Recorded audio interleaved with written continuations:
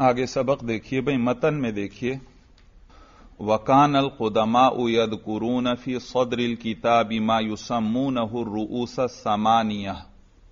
अल अव्वल गरज अल्ला यकून तलबहु अबतन। असानिल मनफ़ातु अय मा यतशव्वकुल कुल्लु तबअन लियंबसित फ़ी तलबी। वयतहम्मल अल मशक्कता वसालिस तस्मियत लियकून इंदहु इजमाल मा युफस्सिलुहु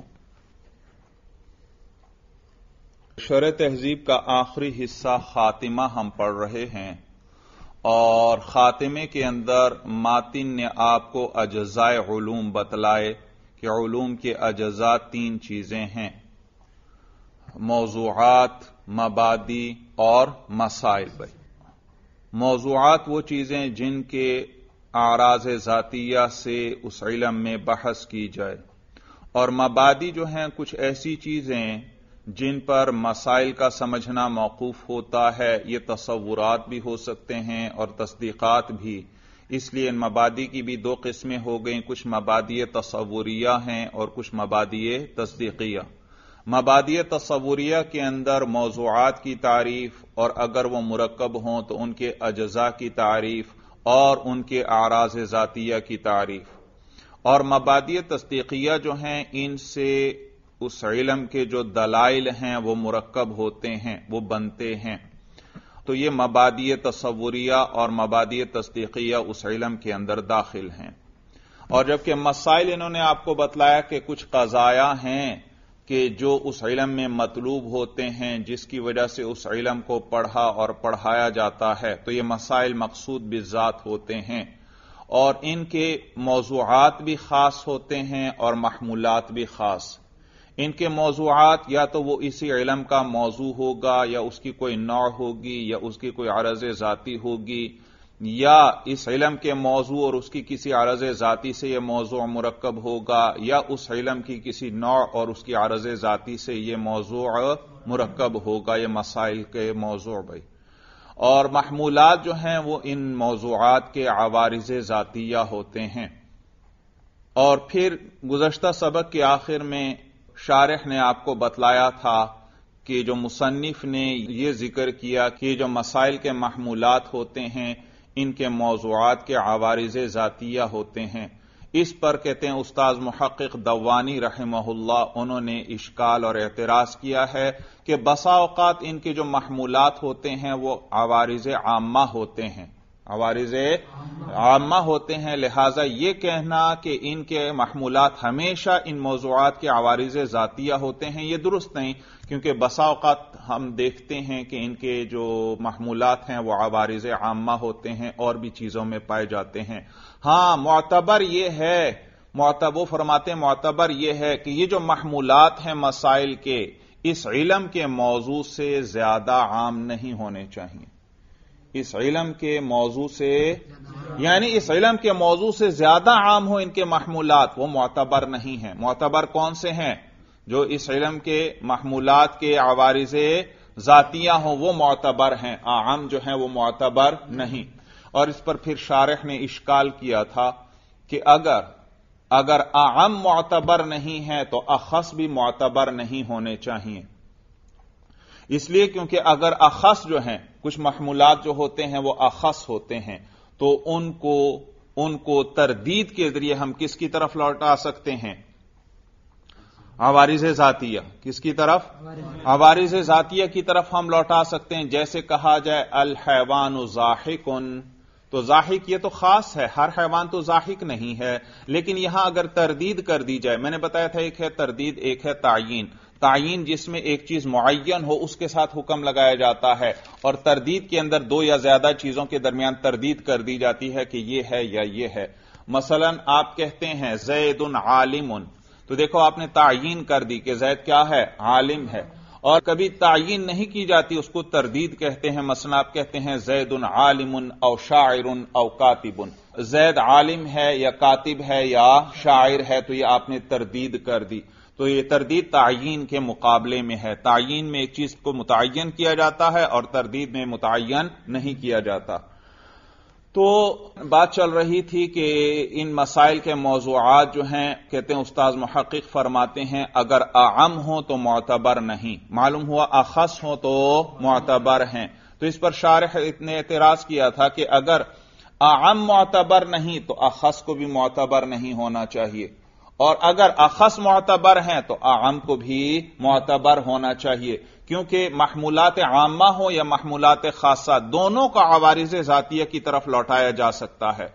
अगर वो महमूलात आमा हैं तो वहाँ पर कोई कैद मुखसिसा बढ़ाकर उसको अरज जाति बनाया जा सकता है।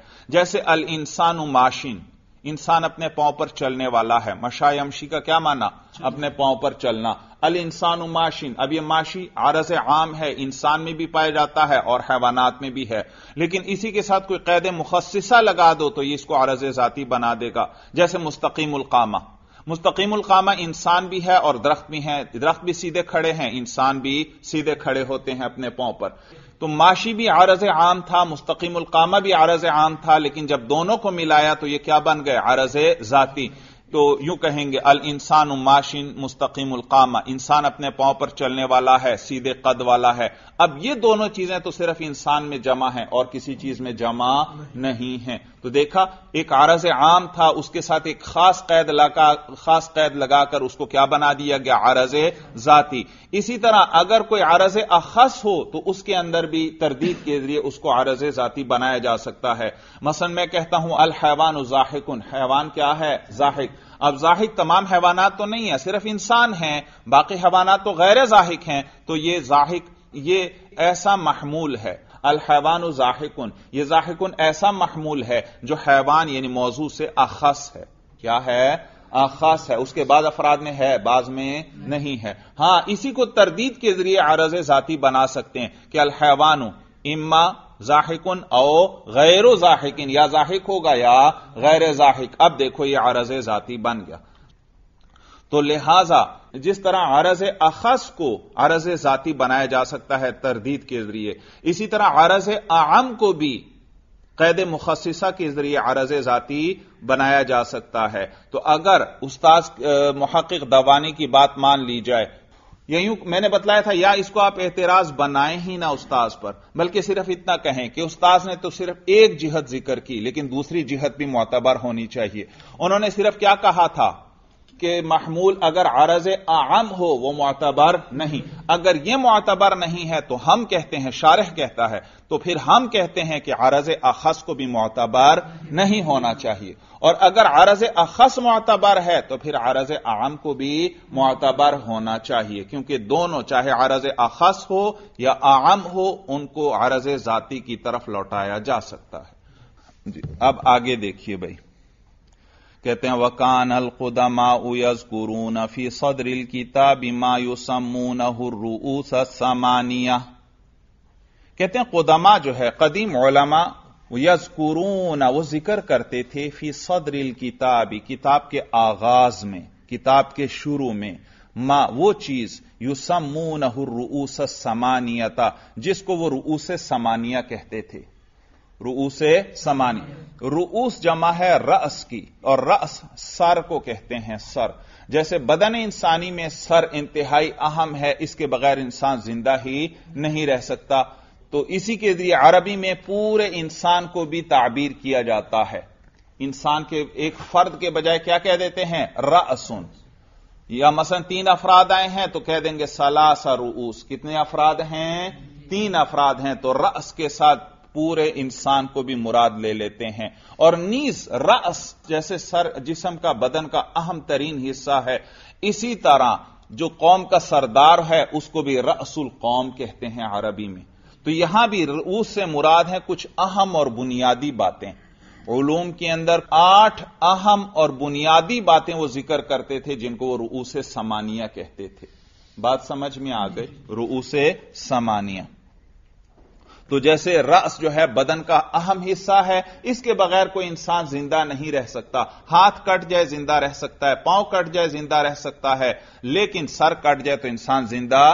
तो यह सर चूँकि बदन का सबसे अहम हिस्सा है, जुज है, लिहाजा इसके साथ पूरे बदन को ताबीर कर देते हैं। रस बोलकर पूरा इंसान मुराद ले लेते हैं।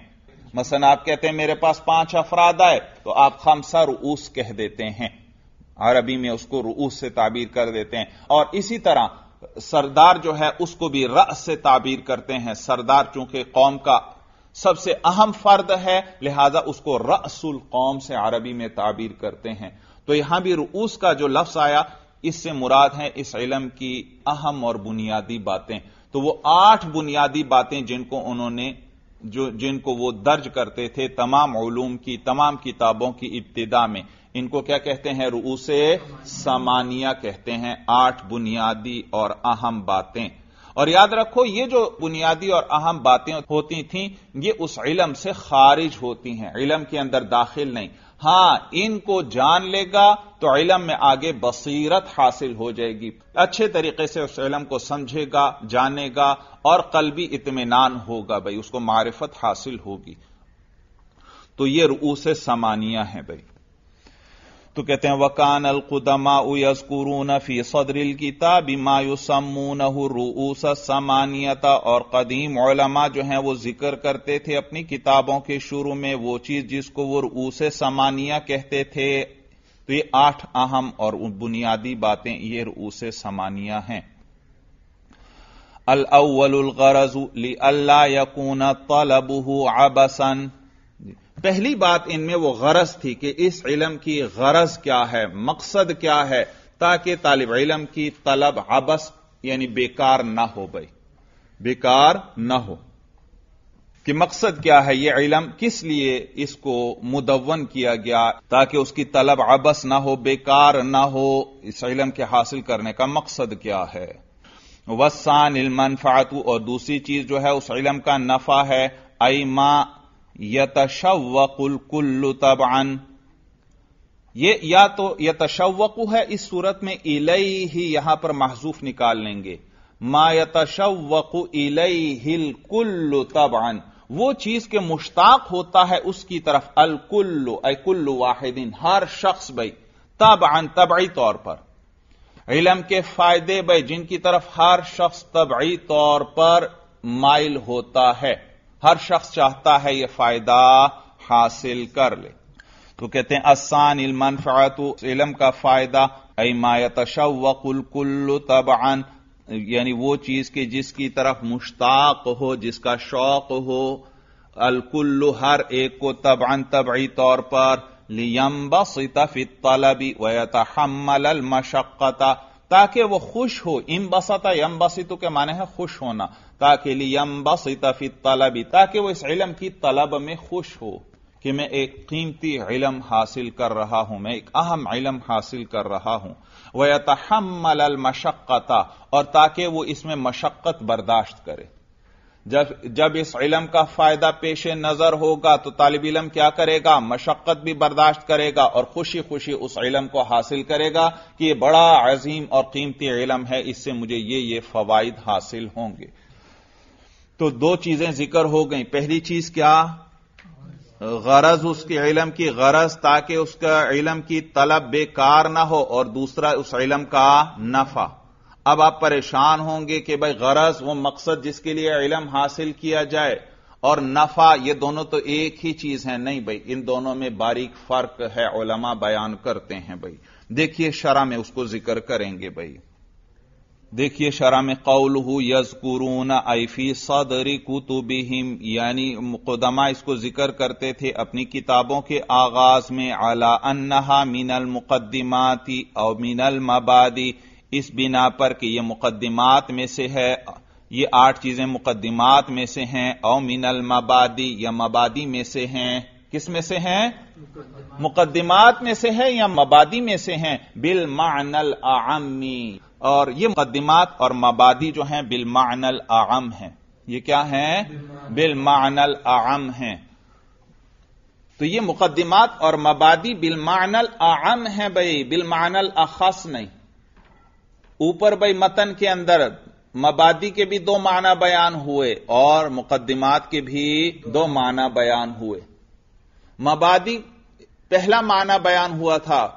कुछ वो चीज़ें जिन पर यह इलम मौकूफ होता है, जो उस इलम में दाखिल होते हैं। और बाद में फिर बताया, अल्लामा इब्न हाजिम ने मबादी का और माना बयान किया है भाई। उन्होंने इस मबादी का इतलाक किया है इब्तदाई बातों पर, जो इब्तदा में ज़िक्र कर दी जाए।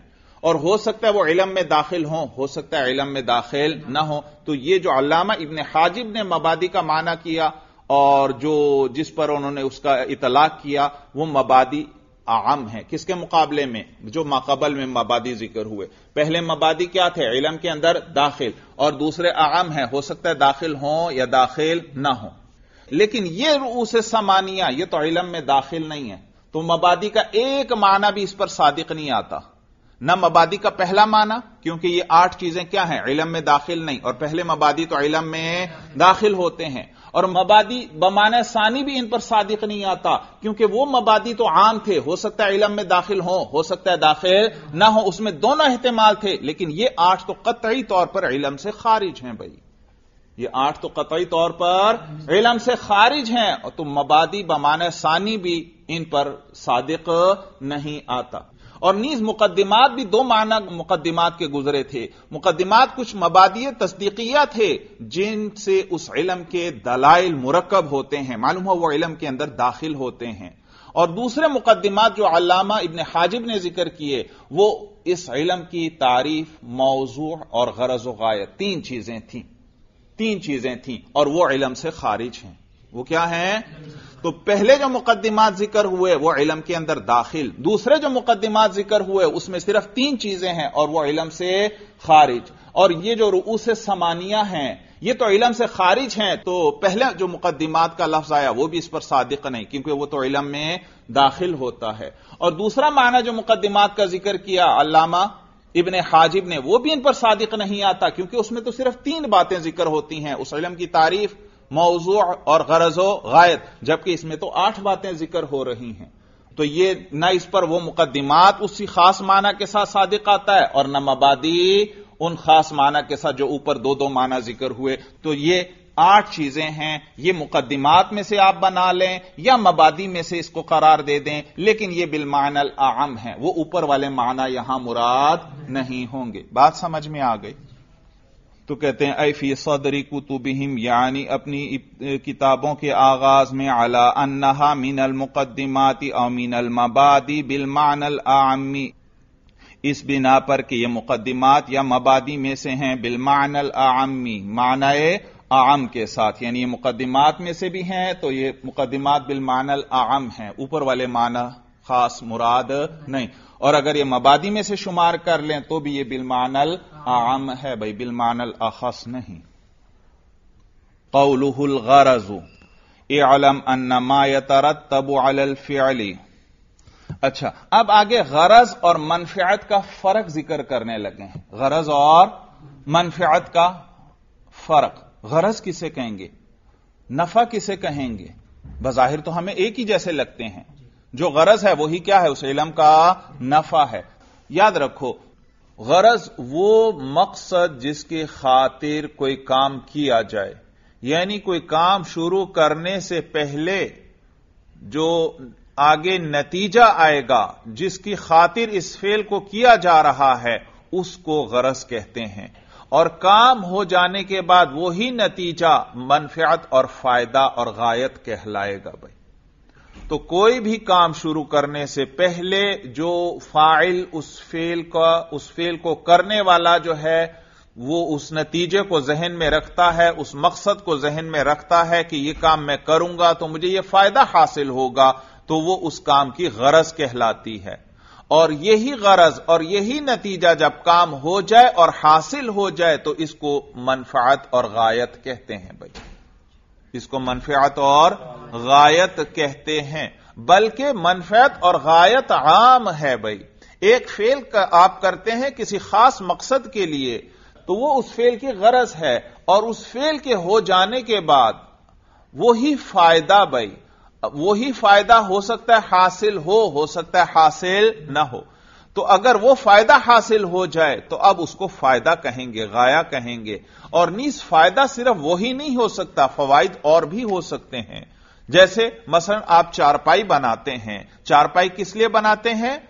लेटने के लिए, आराम करने के लिए। लेकिन क्या चारपाई पर आराम करने ही का काम लिया जाता है चारपाई से? या चारपाई पर बैठते भी हैं आप? चारपाई पर बैठते भी हैं, चारपाई पर कभी सामान वगैरह भी रख लिया जाता है तो फवाइद ज़्यादा हो सकते हैं। अलबत्ता फ़र्क यह है, एक है फ़ायदा, एक है गरज। वो मकसद जो इल्लत हो, सबब हो किसी काम के करने का, वो उसकी गरज कहलाता है।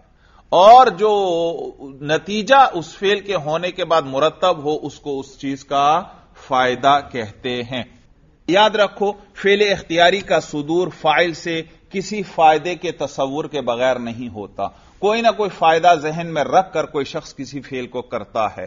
तो यह फ़ायदा बई लिहाज के सबब बना इस फेल के करने का, इसको गरज कहते हैं। और फेल के होने के बाद, फेल के होने के बाद यही चीज़ जब उस फेल पर मुरतब हो यह फ़ायदा उस फेल से हासिल हो, या इसके अलावा कोई और फ़ायदा हासिल हो तो इन सबको फवाइद और मनफातें और गायात कहते हैं।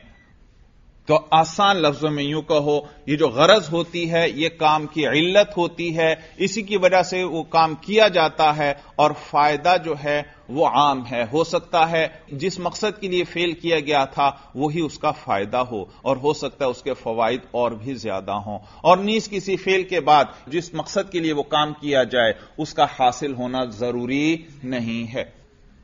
फ़र्क समझ में आया? आपको इलम हासिल करने लगे। आपका जो मकसद है वो इलम हासिल करने से पहले उसको गरज कहेंगे। इलम हासिल करने से पहले वो क्या कहलाएगा? गरज। और इलम हासिल करने के बाद जब वो आपको हासिल होगा तो वही नतीजा अब गायक और फ़ायदा कहलाएगा।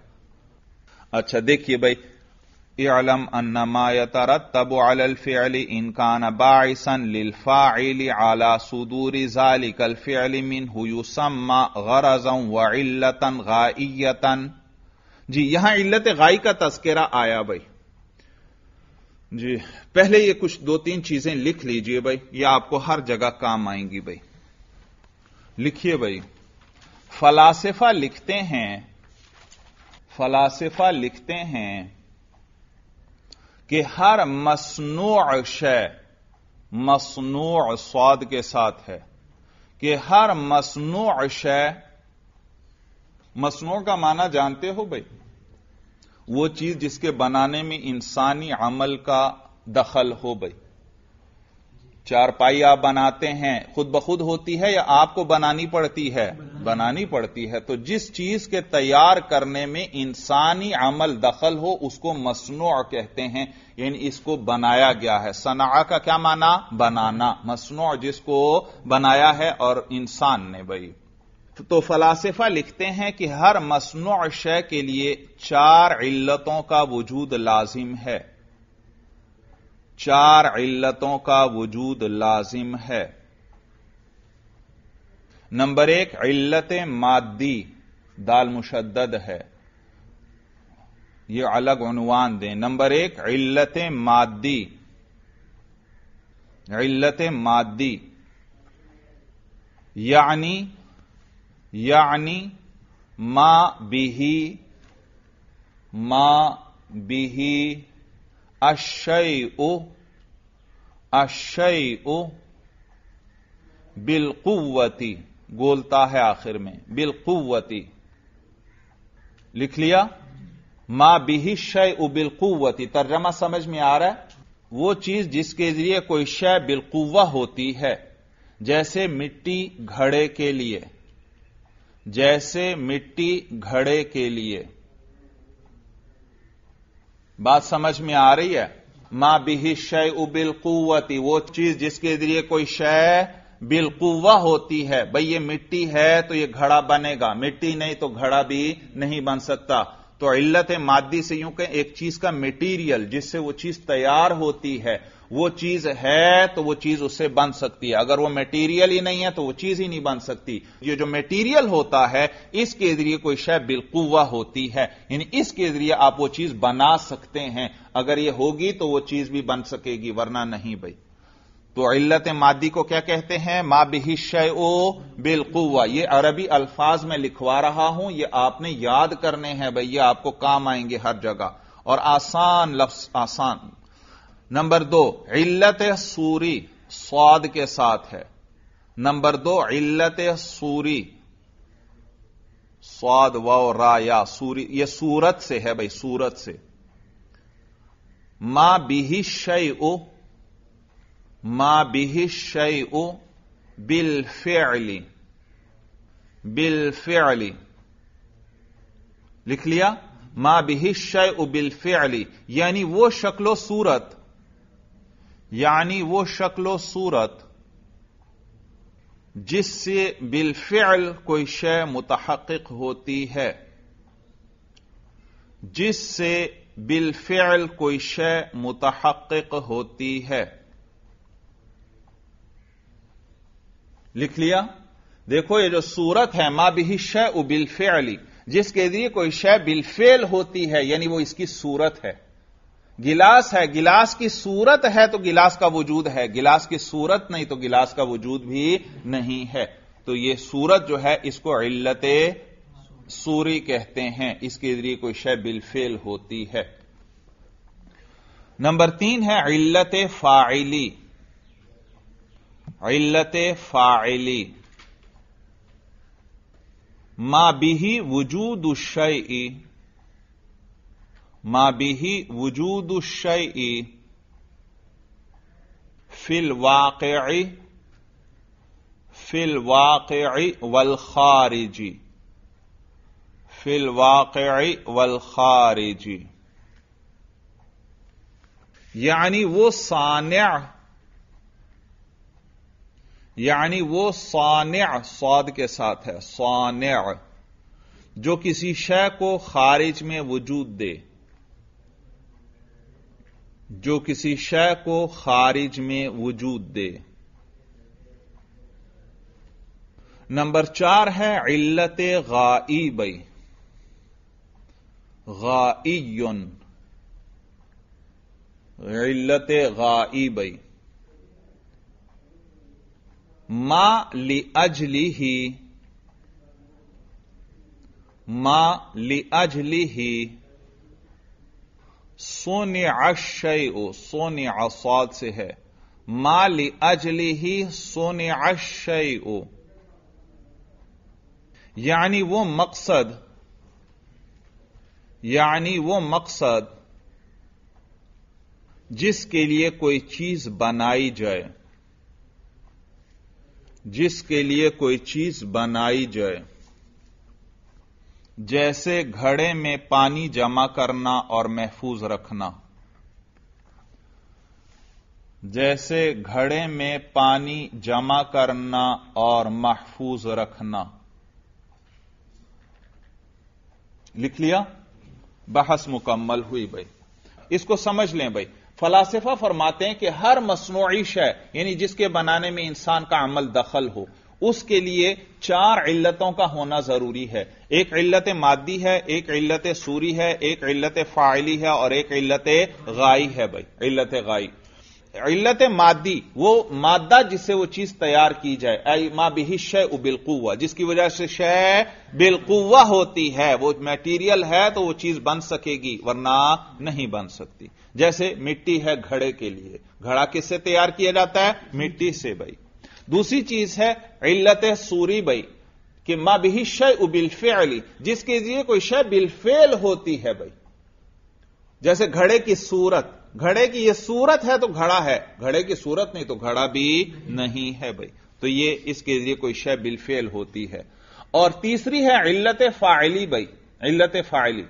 इल्लत फाइली वो है कि जिस पर मौकूफ है उस शय का वजूद खारिजी। क्या तारीफ़ की? मा भी वजूद शय इफिल वाक़ वल खारिजी। जिसकी वजह से किसी शय का वजूद होता है वाकई में और खारिज में, यानी उसका वो बनाने वाला। जैसे घड़े को बनाने वाला है कुम्हार भाई। तो कुम्हार जो है, वो इस घड़े के लिए, इस मटके के लिए वो इल्लत फाइली है। और चौथी चीज़ है इल्लत गाई भाई। इल्लत गाई वो मकसद जिसके लिए उस चीज़ को बनाया जाए भाई। माली अजली ही सुन अशय जिसकी वजह से शय को बनाया जाए। जैसे घड़ा बनाया गया, मकसद क्या था? घड़ा किस लिए बनाया जाता है? पानी को जमा करने और महफूज करने के लिए। तो ये चार इल्लतें हर मसनूई चीज़ में ज़रूरी हैं। कोई भी चीज़ आप देखें, उसमें ये चारों इल्लतें ज़रूर होंगी। कोई ना कोई इसका मटेरियल होगा, कोई उसकी सूरत होगी, कोई इसको बनाने वाला होगा और कोई उसके बनाने का मकसद होगा भाई। बात समझ में आ गई। अब देखिए किताब पर। कहते हैं आलम तू जान ले अन्नमा तरत तब अलफ़ली कि वो चीज़ जो मुरतब होती है फेल पर। वो चीज़ जो किसी फेल पर मुरतब होती है, यानी जो नतीजे में हासिल होती है। इनकान बाइसन लिलफ़ाइल अला सुदूर जालिकल फ़ैल मिन युसम्मा गरजन। अगर वो बाइस थी, यानी उभारने वाली थी फ़ाइल को, अला सुदूर जालिकल फ़ैली, उस फेल के सादिर होने पर मिन हु फ़ाइल से, अपने से। अगर वो जो फेल पर मुरतब होता है, यानी कहो नतीजा नतीजा।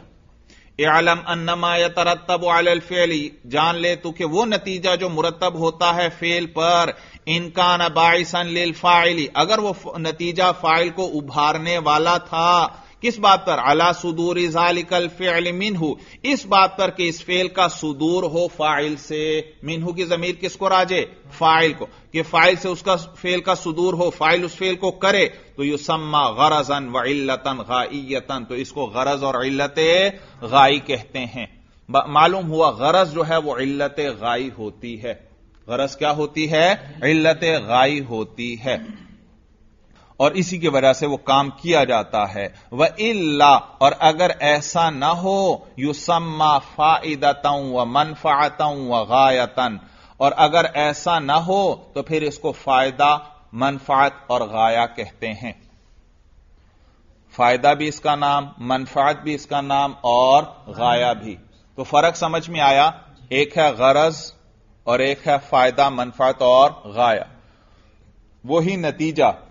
जो उस फेल का बायस बने तो उसको क्या कहेंगे? वही मकसद जो फेल को शुरू करने से पहले फ़ाइल को उभारने वाला है कि ये काम करो, ये चीज़ बनाओ तो आगे इसका ये फ़ायदा होगा तो वो इल्लत है तो उसको क्या कहेंगे? गरज। और फेल के होने के बाद उससे जो फ़ायदा हासिल होगा, वो क्या है? तो वही नतीजा यूँ कहो। वही नतीजा फेल को शुरू करने से पहले क्या हुआ? गरज। और फेल के हो जाने के बाद वो जब वो फ़ायदा हासिल हुआ तो वो क्या है? गाया है। बात समझ में आ गई। तो कहते हैं, वह इल्ला युसम्मा फाइदतऊ व मनफातऊ व गायतन। और अगर ऐसा न हो, यानी वो नतीजा जो था, वो फ़ाइल को उस काम पर उभारने वाला नहीं था तो उसको फ़ायदा, मनफा और गाया कहते हैं। वकालू और फलासफा और मनातिका कहते हैं अफ़ाल बिल अगराज के अल्लाह ताला के अफ़ाल जो है मुअल्लल बिल अगराज नहीं होते। ये बात मैं पहले ज़िक्र कर चुका हूँ किताब के आगाज़ में, कि अल्लाह के अफ़ाल मुअल्लल बिल अगराज नहीं होते। याद रखो, हम जो भी काम करते हैं, उसमें कोई ना कोई गरज, कोई ना कोई मकसद होता है। जैसे अभी ऊपर बताया कि फलासफा क्या फरमाते हैं कि हर मसनूई चीज़ में चार इल्लतों का होना ज़रूरी। उनमें से एक क्या है? इल्लत गाइब इल्लत गाइब यानी उस काम पर जो चीज़ उभारने वाली है, जो मकसद उस काम पर आमादा करने वाला है। तो हम जो भी काम करते हैं, उसमें हमारा कोई ना कोई मकसद होता है। इंसान चारपाई बनाता है तो मकसद क्या है? उस पर लेटना। मेज बनाता है तो उस पर मकसद होगा कोई चीज़ें रखना। कुर्सी बनाता है तो उस पर मकसद है बैठना। गाड़ी बनाता है तो उसका मकसद है सफ़र करना। तो इंसान के हर काम का कोई ना कोई मकसद होता है। चुनाचे आपसे कोई पूछे, भाई ये चारपाई क्यों बनाई या ये चारपाई आपने क्यों खरीदी? तो आप कहेंगे कि आराम करने के लिए। देखा? आपके इस चारपाई के खरीदने में कोई गरज थी। आपसे कोई कहता है, आपने ये गाड़ी क्यों खरीदी? आप कहते हैं, भाई मैं, मुझे सफ़र की ज़रूरत पेश आती है, इसलिए मैंने खरीदी। तो ये जो, हमारे जो अफाल होते हैं, ये मुअल्लल बिल अगराज होते हैं। यानी गरज के साथ इसकी इल्लत बयान की जाती है। अल्लाह तालील का माना है इल्लत बयान करना। तो हमारे जो अफाल हैं, मुअल्लल बिल अगराज हैं, यानी मुख्तलिफ़ मकासद के साथ इनकी इल्लत बयान की जाती है। आपसे पूछा मसन आप बाज़ार क्यों गए थे? आप उसकी वजह बयान करते हैं कि मैंने कुछ सामान खरीदना था भाई। आप जो भी काम करते हैं, आपसे जब पूछा जाता है कि यह काम आपने क्यों किया तो आप उसके कोई मकसद और कोई गरज बयान करते हैं। और यह मकसद और गरज होना यह मोहताज होने की अलामत है। मालूम हुआ आप मोहताज थे चारपाई के, मालूम हुआ आप मोहताज हैं सफ़र के लिए गाड़ी के, मालूम हुआ आप चीज़ें लेने के लिए बाज़ार जाने के मोहताज हैं। तो यह गरज क्या है? मोहताज होने की अलामत है। चुनाचे इसीलिए मनातिका और फलासफा, उलमा फरमाते हैं कि अल्लाह के अफाल मुअल्लल बिल अगराज नहीं। अल्लाह के अफाल क्योंकि मुअल्लल बिल अगराज होना यह मोहताज होने की अलामत है। आपसे कामों की गरज पूछी जाए और आप ये इल्लतें बयान करें कि इसलिए मैंने यह काम किया, इसलिए यह काम किया, मालूम हुआ इसमें आपका यह मकसद था और आप इस चीज़ के मोहताज थे। तो मुअल्लल बिल अगराज होना क्या, किस चीज़ की अलामत है? मोहताज होने की और अल्लाह किसी चीज़ के मोहताज नहीं। तो फिर, भाई, अल्लाह चीज़ें तो बनाते अल्लाह ने कायनात बनाई, इंसानों को पैदा किया। तो अब वो आपको फ़र्क समझाने लगे। एक है गरज, एक है फ़ायदा। अल्लाह ने जो कुछ किया, अल्लाह इनमें से किसी चीज़ के मोहताज नहीं थे। हाँ, अल्लाह के अफआल में बे इंतहा मुनाफे होते हैं जिनको हम तस्वुर भी नहीं कर सकते भाई। तो देखा, गरज नहीं, लेकिन मनाफे हैं भाई। बात समझ में आ गई अच्छी तरह। तो देखो, अल्लाह ने कायनात बनाई है निज़ाम बनाया, और इनमें से हर हर चीज़ के बे इंतहा मनाफे हैं भाई। इंसान इतनी तरक्की करने के बावजूद अभी तक इन चीज़ों के फवायद शुमार नहीं कर सका भाई। चंद देख के भी पूरी तरह शुमार नहीं कर सका भाई। तो कहते हैं, वकालू उलमा फरमाते हैं अफ़ाल बिल अगराज अल्लाह ताला के अफ़ाल जो हैं, वो मुअल्लल बिल अगराज नहीं होते। व इनिश्ता मलत अला गायात व मनाफ़ अला तुहसा. अगरचे वो मुश्तमिल होते हैं ऐसे गायात और ऐसे नफ़ों पर ला तुहसा, जिनको शुमार नहीं किया जा सकता।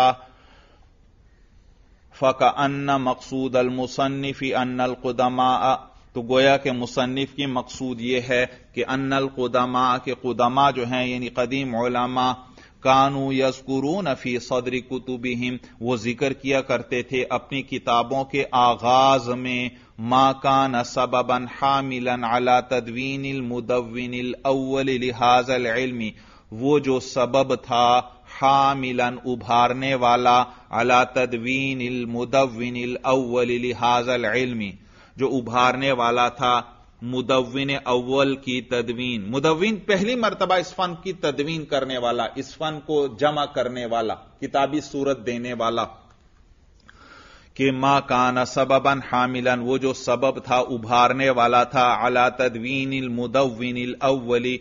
वो जो इस फन का मुदविन अव्वल था, उसकी तदवीन का, लिहाज इल्म, इस इलम के लिए।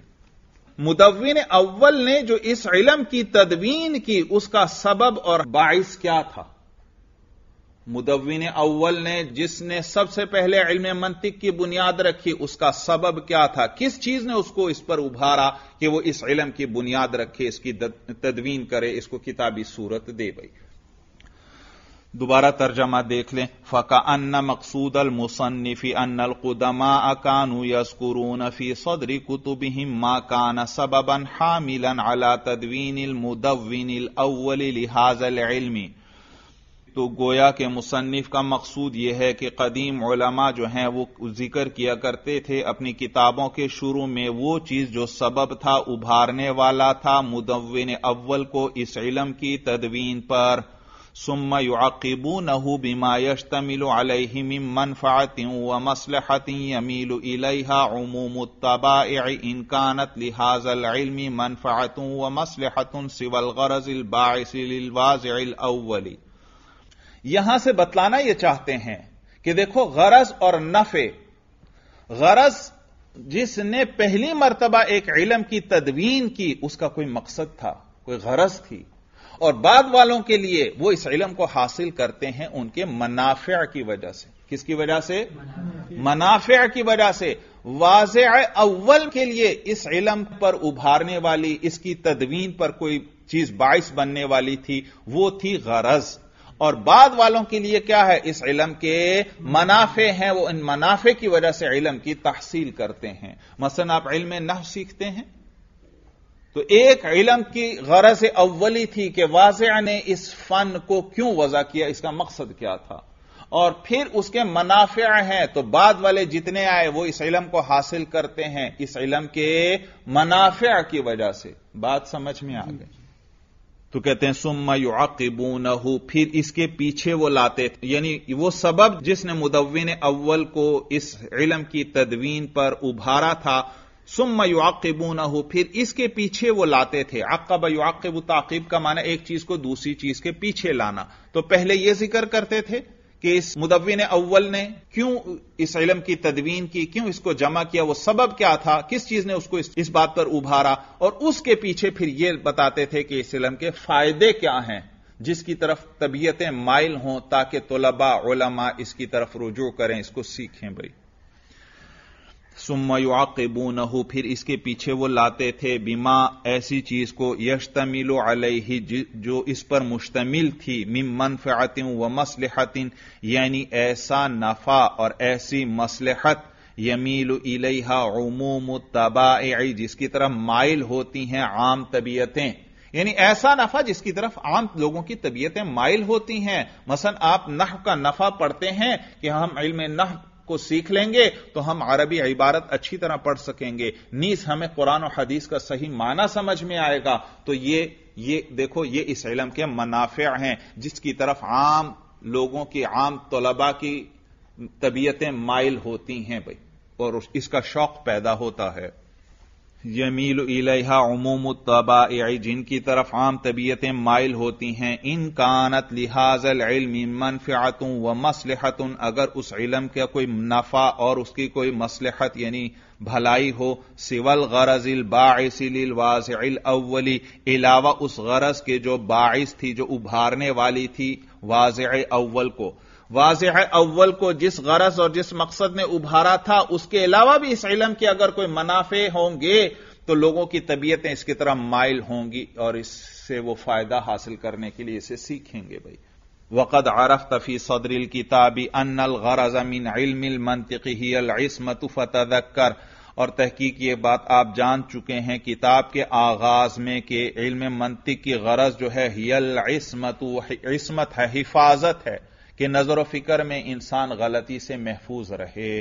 फतजक कर तो इसको आप याद रखना भाई। इस बात को याद रखना। हर इलम के अंदर आठ चीज़ें ज़िक्र किया करते थे कुदमा, और मातिन ने भी क्या किया? किताब के आगाज़ में इस इलम की गरज ज़िक्र कर दी, और यही फ़ायदा भी इसका यही है भाई। अब आइए मतन पर।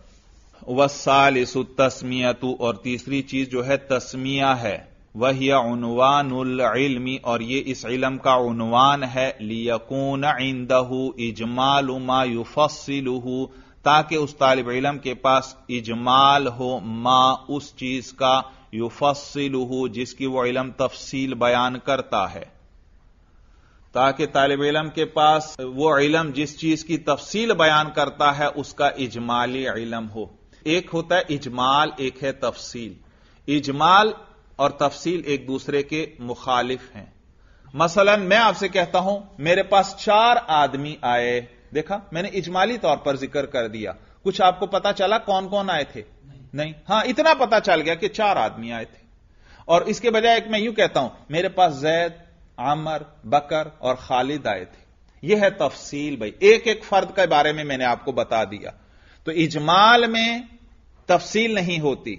यानी उसमें एक एक फर्द, एक एक चीज़ का ज़िक्र नहीं होता। उसमें इजमालन सारों को इकट्ठा ज़िक्र कर दिया जाता है। और तफसील के अंदर फिर एक एक फर्द के बारे में वजाहत आ जाती है कि कौन कौन आया था। तो मेरे पास चार आदमी आए थे, ये क्या है? इजमाल। और मेरे पास जैद, अमर, बकर और खालिद आए थे, ये क्या है? तफसील। तो इलम का नाम जब आपको मालूम होगा तो आपको इजमाली तौर पर पता चल जाएगा। यानी यूँ को वजह तस्मिया।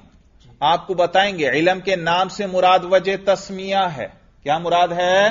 कि इस इलम को यह नाम क्यों दिया गया? इस इलम को यह नाम क्यों दिया गया? मंतिक को मंतिक क्यों कहते हैं? सिर्फ़ मंतिक मैंने कहा। तो क्या आपको पता चला इस इलम में क्या बातें आएँगी? नहीं। लेकिन जब मैं आपको मंतिक की वजह तस्मिया बताऊँगा, मंतिक को मंतिक क्यों कहते हैं?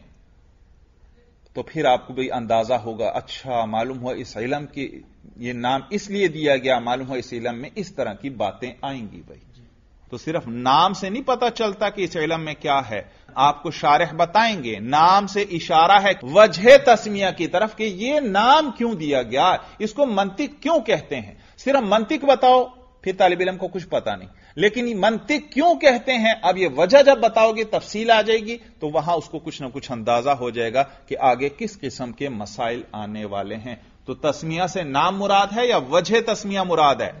वजह तस्मिया मुराद है। जैसे देखो, एक मजमून है, एक लंबा मजमून होता है, उसके उनवान से आपको मजमून का अंदाज़ा हो जाता है। इसी तरह कोई किताब होती है, किताब के नाम से आपको किताब के कुछ ना कुछ उसके अंदर क्या बाहसे हैं, उनका अंदाज़ा हो जाता है। इसी तरह जब आपको इलम के नाम का पता होगा, और यह पता होगा इसको यह नाम क्यों दिया गया तो उस इलम की अबहास भी इजमाली तौर पर आपके जहन में आ जाएँगी। तो कहते हैं वसाल इस तस्मियतु, और तीसरी चीज़ तस्मिया है, वहिया उनवानुल इल्मी, और ये उस इलम का उनवान है, लियकून दहू ताकि उस इलम को सीखने वाले के पास इजमाल मा युफसिलहू इजमाल हो मा, उस चीज़ का युफसिलहू जिसकी वो इलम तफसील बयान करता है। यानी उस इलम में जिस चीज़ की तफसील है, उसका इजमाली इलम हो तालब इलम के पास। अब आइए शरा पर। कौलहू वसालिसु तस्मियतु अतस्मियतुल अलामतु, मेरी किताब में यूँ है, लेकिन दुरुस्त इबारत यूँ है जो और नुस्खों में है। असीमतुल अलामतु, असीमतुल तो ये जो दूसरा तस्मिया है शरा में, यहाँ असीमतु होना चाहिए। असीमतुल अलामतु, कहते हैं सीमा जो है अलामत को कहते हैं। सीमतुन अरबी ज़ुबान में किसे कहते हैं? अलामत। वजह तस्मिया ज़िक्र कर रहे हैं भाई। कि इसम को इसम क्यों कहते हैं? आप नह में पढ़ चुके हैं। कि ये किससे अखज किया गया है? वेस्मुन से या सेमुन से। और विस्मुन क्यों है? क्योंकि विस्मुन का माना है अलामत। तो उसी से क्या है? सिमतुन। वादा यादो मस्तर क्या है? ईदतुन। ईदतुन है। तो यहाँ भी विस्मुन से क्या बन गया? सिमतुन। भाई सिमतुन। तो असिमतुल अलामतु। सीमा जो है अलामत के माने हैं। तो जैसे नाम जो है एक चीज़ पर अलामत होती है उस चीज़ की खबर दे देता है। तो कहते हैं असिमतुल अलामत। सीमा जो है अलामत को कहते हैं। सिमतुन का लफ्ज कहाँ से आया? बात समझ में आ गई? ये विस्मुन से है और इसी से यह तस्मिया भी है। तो कहते हैं यह अलामत को कहते हैं, वका अन्नल मकसूदा हुनल इशारत इलावज ही तस्मियतिल इल्मी और गोया के मकसूद जो है, यहाँ पर वो इशारा करना है, इलम की वजह तस्मिया की तरफ़। कमा युकालू, जैसे कहा जाता है इन नमा सुमी अल मंतिक मंतिकन ले अन्नल मंतिक युतलक नुत्क ज़ाहिरी जैसे कि कहा जाता है कि मंतिक को मंतिक कहते हैं, इसलिए क्योंकि मंतिक जो है, युतलक वाला नुत्क ज़ाहिरी, ये इसका इतलाक होता है नुत्क ज़ाहिरी पर। नुत्क ज़ाहिरी यानी ज़ाहिरी बोलना, ज़ुबान से गुफ्तगु करना, इसको भी नुतुक कहते हैं। देखिए, अला नुत्क ज़ाहिरी, इसका इतलाक होता है, यानी ये बोला जाता है नुत्क ज़ाहिरी पर। भाई, नुत्क ज़ाहिरी क्या है? कहते हैं वह हुआ तकल्लुम, वो तकल्लुम है ज़ुबान से बोलना। वल बातिनी और इस नीज इसका इतलाक नुत्क बातिनी पर भी होता है। भाई, वो क्या चीज़? कहते हैं, वह हुआ इदराकुल कुल्लियात, और वो कुल्लियात का इदराक है। नुतुक का माना ज़ुबान से बोलना भी, और नुतुक का माना इदराक कुल्लियात भी, भाई। वहादल इल्म युकविल अव्वला, और ये इलम जो है, पहली चीज़ को कुवत देता है। यानी तकल्लो में, जाहिरी में भी कुवत देता है। जिस तरह मज़बूत कलाम जो है और मुदल्लल कलाम मंतिकी कर सकता है, गैर मंतिकी नहीं कर सकता। तो कहते हैं वहाजल इल्म युकविल अव्वला और यह इलम जो है कुत देता है पहली चीज़ को, यानी नुत्क जाहिरी को भी। व यसलुकु बिसानी मसलक सदादी और चलाता है दूसरे में, मसलक सदादी सीधे रास्ते पर। मसलक सला का यसलुक सुलूक का माना है चलना। और नीज याद रखना, इसी का माना चलाना भी। चलना भी, चलना है खुद। चलना यानी खुद चलना। और इसी का माना चलाना भी, यानी दूसरे को चलाना। और मसलक, चलने की जगह। और सदाद का माना है सीधा, दुरुस्त सही भाई। जो गलत ना हो। याद रखो, ये बात मैं पहले भी बयान कर चुका कि सुलूक का माना यह आम जाहिरी रास्ते पर चलना नहीं है, बल्कि अमली रास्ते पर चलना है। किस पर चलना है? अमली रास्ते पर चलना है। आपको एक शख्स ने रास्ता दिखाया, भाई, ये रास्ता फुला तरफ़ जाता है, आप उस रास्ते पर चल पड़े। ये सुलूक नहीं है, बल्कि सुलूक यह है कि आपको कोई अमल का तरीका बतलाए, मसलन, उस्ताद आपको नसीहत करता है कि इन इन चीज़ों पर अमल करो तो आपको कामयाबी हासिल होगी। तो अब ये आप उस्ताद के बतलाए हुए रास्ते पर चलते हैं। यह है सुलूक भाई। देखा? आप उसके मुताबिक अमल करते हैं। क्या करते हैं? अमल करते हैं तो इसको सुलूक कहते हैं। तो मसलक, वो अमली रास्ता भाई। तो कहते हैं, वयसलुकु बिसानी मसल का सदादी। तो यसलुकु का यहाँ मुतादी वाला तर्जमा करेंगे। वयसलुकु, और यह चलाता है बिसानी दूसरे माना में भी मसल का सदादी, सीधे रास्ते पर।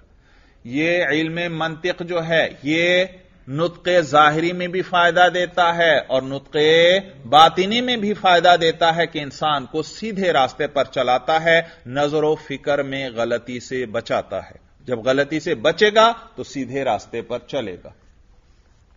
तो यसलू को पढ़ें इसको यसलू को बिस्सानी। और चाहे तो इसको आप बाबी फाल से भी पढ़ सकते हैं। असला का युसली को इसलाक का माना है दूसरे को सीधे रास्ते पर चलाना। तो चाहे आप युसली को पढ़ लें, चाहे आप यसलू को पढ़ लें, माना दोनों का वही है भाई, चलाना। मैंने बताया इसका माना चलना भी और चलाना भी, यहाँ चलाना है। तो कहते हैं वयसलु को बिसानी मसल का सदादी और ये दूसरे में भी चलाता है। यही को दूसरे माना के एतबार से भी ये चलाता है मसल का सदादी, सीधे रास्ते पर फश्तुकल हुस्मुन मीना नुतकी। मेरी किताब में मीनल मंतिक यह किताबत की गलती है। मीना नुतक होना चाहिए। फश्तुकल हुस्मुम मीना नुतक। बस इसके लिए एक इसम मुश्तक किया गया, यानी इसम बनाया गया। मीना नुतक। किससे? नुतक। भाई, मंतिक का लफ्ज नुतक से बनाया गया है, क्योंकि यह नुतक जाहिरी में भी फ़ायदा देता है और नुतक बातिनी में भी। फशतुक लहुस्मुम मीना नुतकी। तो इसके लिए इश्तिका किया गया, एक इसम का नुतुक से फल मंतिक इम्मा मस्तर मीमीयुन। पस मंतिक या तो मस्तर मीमी है, यानी जिसके शुरू में मीम है। बिमाना नुतकी, और ये किस माना में है? नुत मस्तर है ना? नुतक भी मस्तर और मंतिक भी मस्तर। तो कहते हैं फल मंतिक इम्मा मस्तर मीमीयुन बिमाना नुतकी। तो मस्तर मंतिक या तो मस्तर मीमी है। नुतक के माना में उतलिकालमिल मजकूर मुबालगतन फ़ी मदखलीत ही फ़ी तकमील मंतिकी। जी। भाई, आपने पढ़ा है कि मस्तर का हमल जात पर नहीं हो सकता। जैदुन अदलुन, इस किताब के शुरू में बहस आई थी। तो जैदुन अदलुन, अदल तो मस्तर है और मस्तर तो वसफ है, और वसफ का हमल जात पर नहीं हो सकता। जैदुन अदल जैद है जात और अदल क्या है?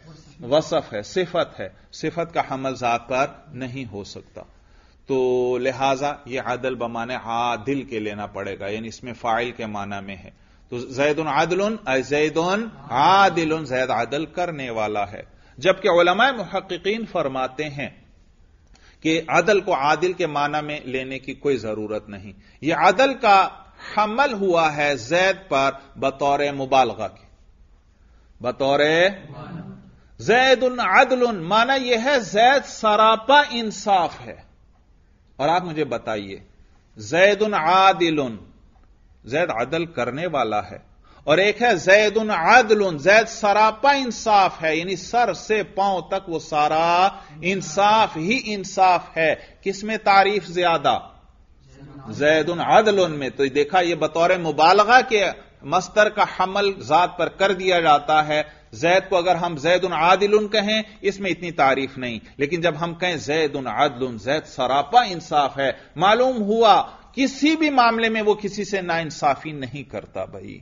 तो किसमें मुबालगा ज़्यादा के मस्तर का हमल बराह रास्त जात पर कर दिया जाए बतौर मुबालगा के। तो यहाँ पर भी मंतिक मंतिक वो तो मस्तर मीमी है लेकिन उसका इतलाक कर दिया गया इस इलम पर, बतौर मुबालगा के, कि इस इलम का बहुत ज़्यादा दखल है नुतक के अंदर, नुतक को कमाल तक पहुँचाने में, चाहे नुतक जाहिरी हो, चाहे नुतक बातिनी हो।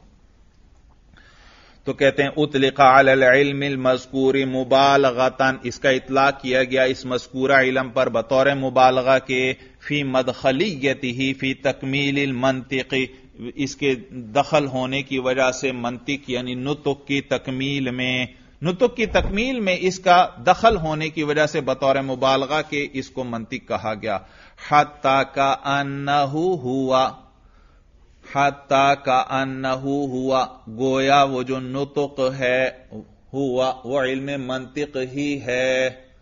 का अन्नहु हाजमीर राजे है नुतुक को। किसको? या मंतिक को राजे कर लें, लेकिन मंतिक भी बमाने नुतुक के है। और हुआ जमीर राजे करें इल्म मंतिक को, का अन्नहु हुआ। गोया के वो नुतुक जो है, वो ये इल्म मंतिक ही है। वो नुतुक? बतौर मुबालगा के, कि गोया इल्म मंतिक ही नुतुक है, जिसके पास इल्म मंतिक नहीं, ना उसके पास नुतक जाहिरी है, ना उसके पास नुतक बातिनी है। ये नुतुक तो यही है भाई।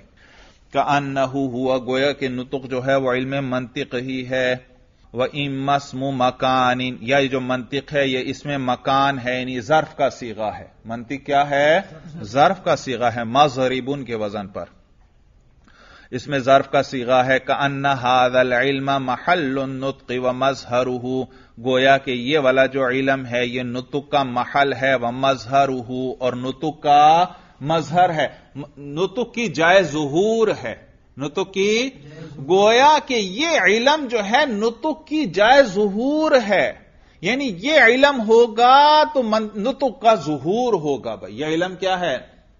नुतुक के जाय जहूर है। यहाँ आकर नुतुक का क्या होता है? जहूर होता है नुतुक ज़ाहिर होता है। का अन्न हादल इल्म महल नुतक व मजहरुहू गोया कि यह इलम जो है नुतुक का महल है और इसकी जाय जहूर है यानी ज़ाहिर होने की जगह है वफी ज़िक्र वजह तस्मियत इशारतन इजमालियतन इलामा युफसिलुल इल्म और इसकी वजह तस्मिया ज़िक्र करने में इजमाली इशारा है इलामा उस चीज़ की तरफ़ युफसिलुल इल्म, जिसकी तफसील यह इलम करता है। भाई, वो क्या चीज़ है? आगे मीन बयानिया है, मीनल मकासिद, यानी इस इलम के जो मकासिद हैं। मैंने बताया था भाई, माँ मौसूला लाते हैं, आगे सिला आता है, और फिर भी बात पूरी वाजह नहीं होती तो मीन के ज़रिए आगे बयान लाया जाता है। जैसे माँ मौसूला आया और युफसिलहुल इल्म, ये उसका सिला। वो चीज़ जिसकी इलम तफसील बयान करता है। भाई, वो क्या चीज़ है? हमें तो बात समझ में नहीं आई। आगे मीन के ज़रिए बयान कर दिया, मीनल मकासिद, यानी इस इलम के जो मकासिद हैं। देखो अलिफ्लाम आया। अल मकासिद, खास मकासिद मुराद हैं, यानी इस इलम के जो मकासिद हैं। और मैंने आपको यह भी बताया था कि ये जो मीन बयानिया है, ये दूसरा सिला बनता है। तो इस माँ के दो सिले हो गए। एक युफसिलहुल इल्म और दूसरा मीनल मकासिद। और ये कैसे सिला बनेगा? सिला हमेशा जुमला होता है तो यह सबाता से मुतालिक होगा। जार मजरूर है ना? तो जार मजरूर सबाता से मुतालिक होगा और फिर यह पूरा जुमला दूसरा सिला बन जाएगा। और नीज मैंने आपको तर्जमा करने का तरीका भी बतलाया था। या तो यानी के साथ ये मीन का तर्जमा करो। किसके साथ? यूँ तर्जमा करो। इलामा युफसिलहुल इल्म मिनल मकासिदी। और वजह तस्मिया के अंदर इजमाली इशारा है उस चीज़ की तरफ़ जिसकी यह इलम तफसील बयान करता है। यानी के मकासिद। यानी कि इस इलम के मकासिद। और दूसरा तरीका यह है कि यह मिनल मकासिद किसका बयान है? मा युफसिलहू यह माँ मौसूला का बयान है। तो इस माँ मौसूला की जगह इस मकासिद को ले आओ तर्जमे में। अब तर्जमा सुनो, माँ की जगह मैं मकासिद का लफ्ज लाऊँगा। कहते हैं, वफी दिक्री वजह तस्मियती, और वजह तस्मिया के अंदर जो है इशारतुन इजमालियतुन, इजमाली इशारा है, इला मा उन मकासिद की तरफ़ युफसिलहुल इल्म, जिनकी तफसील यह इलम करता है। तर्जमा समझ में आ गया? आगे दे, भाई, मतन देखिए। वर्राबिलमुअल्लिफु लियस्कुन कल्बुल मुतअल्लिमी, और चौथी चीज़ रूस समानिया में से वो मुअल्लिफ है भाई, मुसन्निफ भाई। मुअल्लिफ, यानी मुअल्लिफ इलम भी मुराद हो सकता है, और मुअल्लिफ किताब भी। एक मुअल्लिफ इलम है जिसने इस इलम को मुदवन किया, इसको जमा किया, इसकी तदवीन की। और यह मुअल्लिफ से मुराद मुअल्लिफ किताब है कि इस किताब का मुअल्लिफ कौन है। लियस लियसकुन कल्बुल मुतअल्लिमी, ताकि तालब इलम का दिल जो है वो उसको सुकून हो जाए, उसको इत्मीनान हो जाए। तालब इलम को जब किताब पढ़ाने लगे हैं तो शुरू में क्या किया जाए? उसको मुसन्फ के बारे में इजमालन बताया जाए, मुख्तसर तौर पर, ताकि उसका दिल मुतमिन हो जाए कि मैं फला बड़े आलिम की किताब पढ़ रहा हूँ भाई। क्योंकि जब बड़े आलिम को वो जानता है बड़े आलिम से उसको अकीदत है तो इलम के अंदर भी शौक पैदा होगा और रगबत से उसको पढ़ेगा कि इतने बड़े आलिम के लिखी हुई किताब और उसका तदवीन किया हुआ इलम मैं पढ़ रहा हूँ। तो कहते हैं वर्राबिफ और चौथी चीज़ मुअल्लिफ है। अल्लाफ अल्लिफ तालीफ का माना होता है जोड़ना भाई। तरकीब रक्का भाई रकीबू तरकीब। जोड़ना भाई। तो कहते हैं चौथा जो है वो मुअल्लिफ है, यानी जिसने इस इलम की बातों की तदवीन की है, इनको जमा किया है। लियसकुन कल्बुल मुतालिमी ताकि तालब इलम के दिल को इतमान हो। जी, आइए अब शरा पर देखिए। कहते हैं, कौलहू वर्राबिलमुअल्लिफ ऐ मारिफत हाल ही इजमालन, लियसकुन हालुल मुतालिमी मेरी किताब में हाल है, कल्ब होना चाहिए भाई, कल्ब।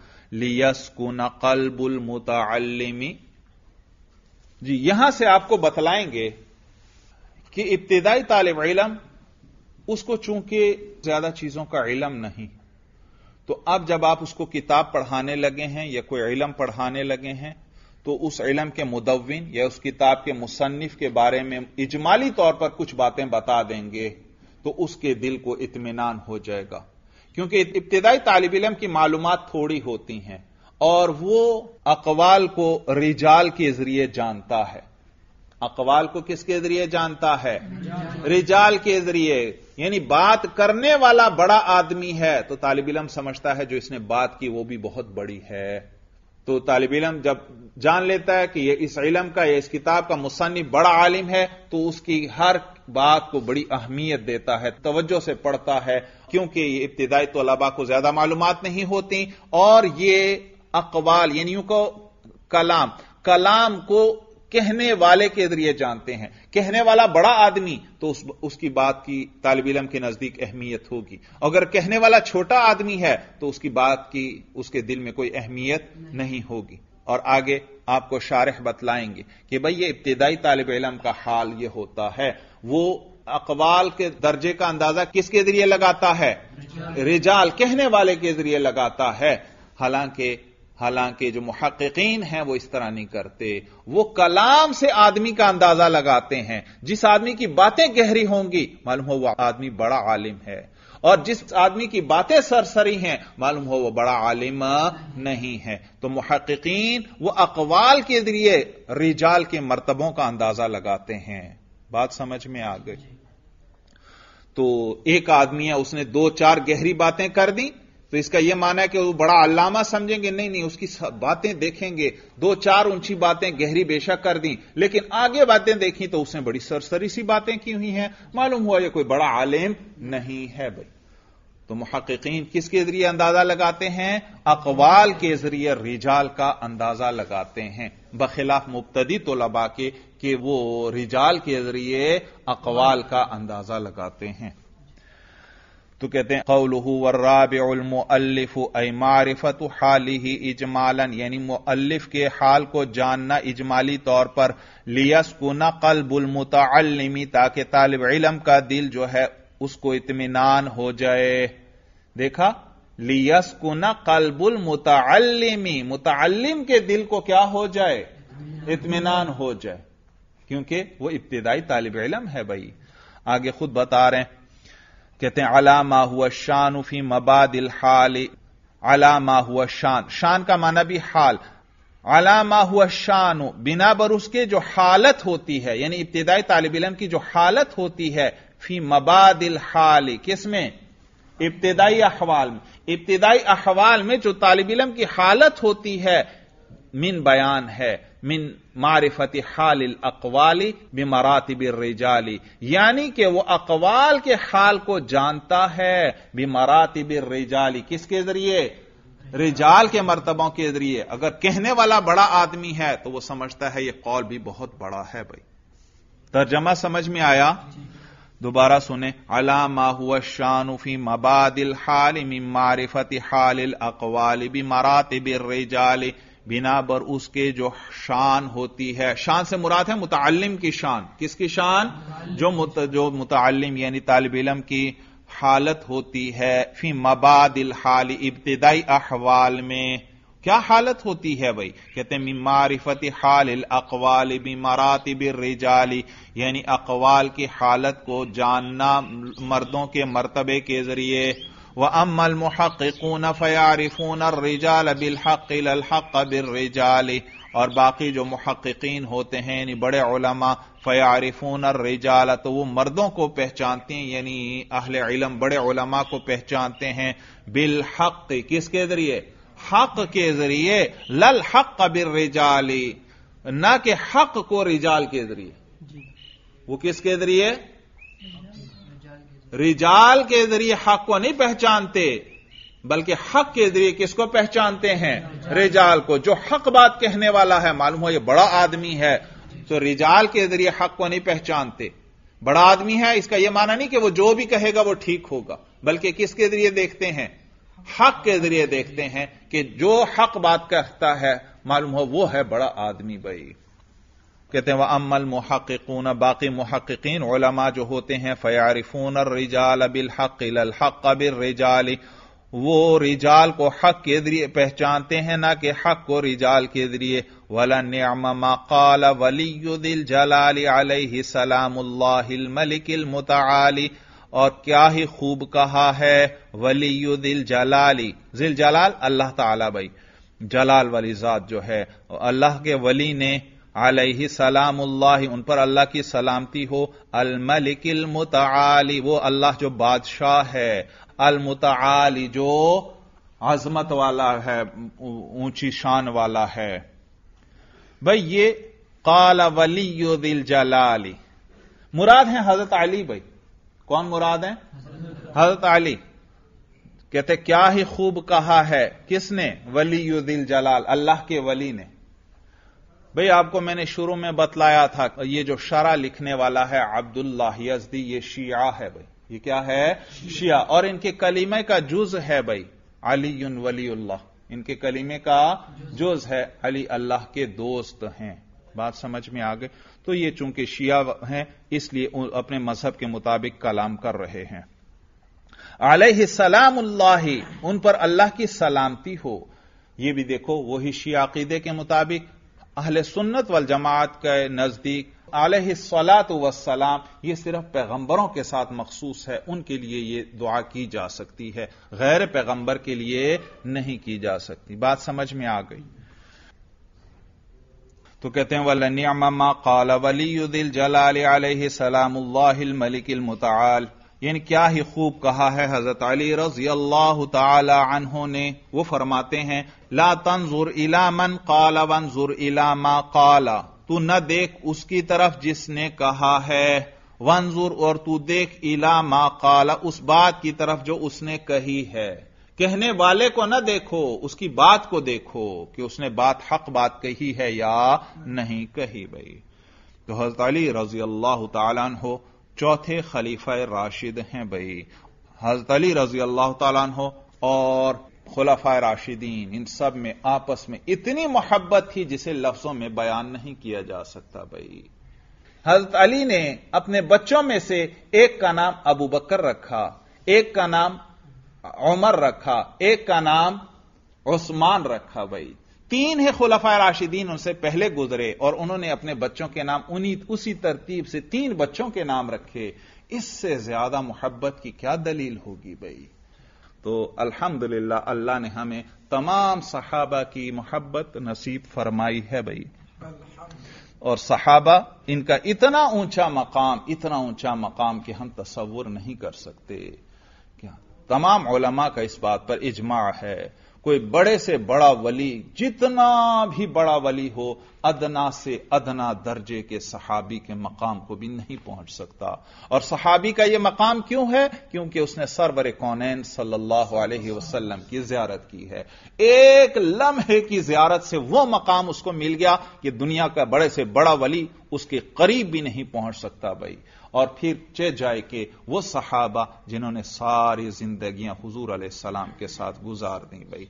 वो एक एक दीन की बात पहुँचा दी आगे। दीन इस्लाम मोहब्बतों का दीन है। अहले सुन्नत वाल जमात का मज़हब मोहब्बतें ही मोहब्बतें हैं। कहीं नफरत नहीं है। तो कहते हैं, हज़रत अली रज़ी अल्लाह तु का मकूला है, ला तंजुर इला मन काल, वंजुर इला मा काल, तू न देख उस उस शख्स की तरफ़ जिसने कहा है और तू देख उस बात की तरफ़ जो उसने कही है। हाजा ऐ खुज हाजा। इस बात को ले लो। मैंने बताया ओलमा अपनी किताबों में इस तरह कोई कीमती बात ज़िक्र करने के बाद हाजा कहते हैं और यह मफूल होता है खुज के लिए। ऐ खुज हाजा। यानी इस बात को ले लो, इसको याद रखो यह कीमती बात है। कहते हैं वह मुअल्लिफ कवानी नीलमंतिक वल फलसफती हुल हक जी अब ऊपर आया था वह राबिउल मुअल्लिफुल यसकुन कल्बुल मुतअल्लिमी अब इस इल्म मंतिक का मुदविन अव्वल कौन है वगैरह वो अब यहाँ बयान करने लगे हैं भाई कहते हैं वह मुअल्लिफ कवानी नीलमंतिक वल फलसफती हुल हकीमुल अजीम अरस्तु और इन मंतिक और फलसफा के कवानीन का मुदविन इनकी तदवीन करने वाला, किताबी सूरत में जमा करने वाला, वल हकीम उल अजीम अरस्तु। वो अजीम फलसफी अरस्तु है भाई। अरस्तु है। और याद रखिए, ये अरस्तु का जमाना है। अरस्तु, ये तीन सौ चौरासी कबल मसीह से तीन सौ बाईस कबल मसीह भाई। यानी हज़रत ईसा सलाम की पैदाइश से तीन सौ चौरासी साल पहले इसकी पैदाइश हुई। तीन सौ कबल मसीह, यानी हज़रत ईसा से पहले। और इस ईसा सलाम की पैदाइश से यह सन ईसवी का आगाज़ होता है। ये आजकल जो 2021 चल रहा है भाई। तो ये हज़रत ईसा सलाम की पैदाइश से ये साल शुरू। और हुजूर सलाम की हिजरत से जो है वो इस्लामी साल है सन हिजरी भाई। उस वक्त से उनको शुमार किया जाता है। और ये जो कबल मसीह है, इसमें याद रखो, इसमें फिर सन उल्टे चलना शुरू हो जाते हैं। सालों का हिसाब उल्टा चलता है।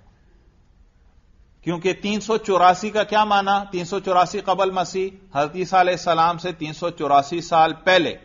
तो हज़रत सलाम से तीन सौ चौरासी साल पहले यह अरस्तु की पैदाइश हुई है। और 322 में इसका इंतकाल हुआ है कबल मसीह में। तो अब आप तो, तो आपके जहन में यह ना है भाई तीन चौरासी में पैदा हुए और 322 में फौत हुए ये तो आदत उल्टे चल रहे हैं। नहीं भाई ये मैंने बतला दिया। कबल मसीह का क्या माना है तीसा सलाम से पहले। तो तीन साल पहले ये इसकी पैदाइश हुई। और फिर तकरीबन ये साठ बासठ साल इसकी उम्र थी, इतने साल मजीद गुजर गए तो अब हज़रत सलाम की पैदाइश में सिर्फ़ कितने साल रह गए? तीन सौ बाईस रह गए तो उस वक्त इसका इंतकाल हुआ। और ये ये उस्ताज था सिकंदर आज़म का भाई, सिकंदर आज़म। और सिकंदर आज़म मशहूर फातिह गुजरा है। तो ये उस्ताज था मशहूर फातिह सिकंदर आज़म का भाई। सिकंदर आज़म, बहुत बड़ा बादशाह गुजरा है इंसानी तारीख का। और इसने बहुत से मुल्कों को फतह कर लिया, मिसर, फलस्तीन, शाम, वगैरह, इन तमाम जगहों पर इसकी हकूमत थी। और यह फतह करता चला आया, यहाँ तक कि बर सगीर को भी यह फतह करना चाहता था। सिंध का कुछ हिस्सा कहते हैं, इसने फतह भी कर लिया था। लेकिन यहाँ पहुंचकर इसके फौजियों को पता चला कि आगे जो हिंदुस्तान के बादशाह हैं, मुख्तलिफ़ राजा, जगह जगह मुख्तलिफ़ बादशाह हुकूमत कर रहे थे। उनके पास हाथी होते हैं फौज के अंदर भाई। तो वो डर गई फौज, उन्होंने आगे जाने से इनकार कर दिया। इसने कोशिश की, लेकिन वो फौज तैयार नहीं हुई। चुनाचे वहाँ से फिर ये वापस चला गया भाई। और फिर वापस जाने के बाद कहते हैं, ये बीमार हुआ और 11 दिन बीमार रहकर मर गया। बाज कहते हैं, इसको जहर दिया गया था। और इंतकाल के वक्त इसकी उम्र सिर्फ़ बत्तीस, तैतीस साल थी भाई। तो बत्तीस, तैतीस साल की उम्र में बड़ा जंगजू इंसान था। हर वक्त जंगों में मशगूल रहता था और बड़ा ही जालिम और खूनरेज किस्म का इंसान था। जरा जरा सी बात पर लोगों की जान लेना इसका शेवा था भाई। और यह बुत परस्त था। किसी भी जंग पर जाने से पहले बुतों के ऊपर बड़े बड़े चढ़ावे चढ़ाता और वहाँ नज़र न्याज पेश करता और फिर उसके बाद उनसे दुआएँ मांगकर जंग के लिए रवाना होता था। और इसी को जुलकरनैन भी कहते हैं। क्या कहते हैं? जुलकरनैन। लेकिन यह वो जुलकरनैन नहीं जो जिसका ज़िक्र कुरान में आता है। वो जुलकरनैन उसकी तो अल्लाह ने तारीफ़ फरमाई है और वो भी बहुत बड़ा बादशाह गुजरा है। और नीज ये तो हज़रत ईसा सलाम से सिर्फ़ साढ़े तीन सौ साल कबल ये गुजरा है, ये सिकंदर आज़म। जबकि वो जो जुलकरनैन है, वो तो कहते हैं कि हज़रत इब्राहिम सलाम के जमाने में था भाई। और उसको भी अल्लाह ने बड़ी बादशाहत नसीब फरमाई थी। जुलकरनैन क्यों कहते हैं इसको? उलमा ने मुख्तलिफ़ वजूह तस्मिया ज़िक्र की हैं। कर्न कर्न सींग को कहते हैं भाई। जैसे गाय वगैरह के सींग होते हैं। तो जुलकरनैन दो सींगों वाला, जिसके दो सींग हों। तो बास कहते हैं, ये सर पर एक, इसने कोई लोहे की टोपी खुद वगैरह पहनता था और उस पर दो सींग इसने बनवाए हुए थे। इसलिए इसको जुलकरनैन कहते थे। जबकि बास कहते हैं, जुलकरनैन इसलिए कहते थे क्योंकि यह मशरक और मगरब का बादशाह था, यानी सारी दुनिया पर, यानी बड़े बादशाह थे। मशरक से मगरब तक इनकी हकूमत थी, इसलिए मशरक से मगरब तक पूरी दुनिया पर इसकी हकूमत थी, इसलिए इसको जुलकरनैन कहते हैं। दुनिया के जो दो सींग हैं, यानी मशरक और मगरब, दोनों पर इसकी हुकूमत थी। या इसलिए जुलकरनैन इनको कहा जाता, क्योंकि दुनिया की दो सुपर पावर थी, एक फारिस और रोम, दोनों पर इनकी हुकूमत थी, इसलिए इनको जुलकरनैन कहते थे। तो बहरहाल मैंने बताया कि बास कहते हैं कि यह वही सिकंदर आज़म है, इसी का ज़िक्र कुरान में है, लेकिन यह दुरुस्त बात नहीं है भाई।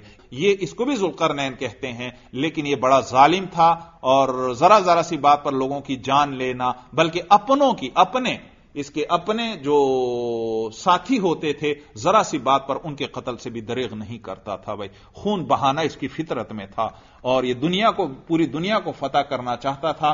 और बहुत बड़ी बादशाहत थी, लेकिन सिंध से आगे इसकी फिर फौज ने जाने से इनकार कर दिया। जबकि दूसरा जुलकरनैन, वो तो बड़ा नेक, रहम दिल बादशाह था भाई। वो तो अल्लाह की दावत और अल्लाह का पैगाम हर एक को पहुंचाता था, बल्कि रिवायात में आता है, ये किसी जगह ये पहुँचा भाई, किसी जगह। और वहाँ पता चला इसको कि हज़रत इब्राहिम सलाम भी यहाँ पर हैं। तो इसने फिर यह अपनी सवारी पर भी नहीं सवार हुआ कि वो मकाम जहाँ पर खलीलुल्लाह मौजूद हों, मेरे लिए मुनासिब नहीं है, मैं सवारी पर वहाँ से सवारी पर चलूँ। चुनाचे ये सवारी से उतर कर फिर ज़मीन पर चला वहाँ पर और फिर हज़रत इब्राहिम सलाम से गालिबन मक्का था उस वक्त। इब्तदाई हालत होगी, कोई एक आध घर होगा, बिल्कुल इब्तदाई हालत। बात समझ में आ गई? जिस वक्त इब्राहिम सलाम ने बैतुल्ला की तामीर की थी इस्माइल सलाम। तो उस जमाने में कोई एक, दो, चार घर होंगे तो वहाँ उसको इतला मिली तो वो अपनी सवारी से उतर गया और जाकर फिर हज़रत इब्राहिम सलाम से मिला। और कहते हैं, जिस वक्त हज़रत इब्राहिम सलाम से मिला तो इस, ये उनसे गले मिला। इसने आगाज़ किया गले मिलने का। इससे पहले गले मिलने का, गले सलाम के वक्त लोग गले नहीं मिलते थे तो इसने आगाज़ किया। तो ये बड़ा नेक और रहमदिल बादशाह था जो कुरान में जिसका ज़िक्र आता है मुहिद था और लोगों को तोहीद ही की दावत देता था भाई। तो कहते हैं, वह मुअल्लिफ कवानी नीलमंतिक वल फलसफती हुल हकीम आजीम अरस्तु। और मंतिक और फलसफा के कवानीन का मुअल्लिफ जो है, वो अजीम फलसफी अरस्तु है। दवनहा बी अमरी इसकंदरा और इसने इसको इस इलम को मुदवन किया। सिकंदर आज़म के हुक्म से, वलिहादा लुकबिल मुअल्लिमिल अव्वली। और इसीलिए इसको लकब दिया गया मुअल्लिम अव्वल का। इसको मुअल्लिम अव्वल कहते हैं भाई।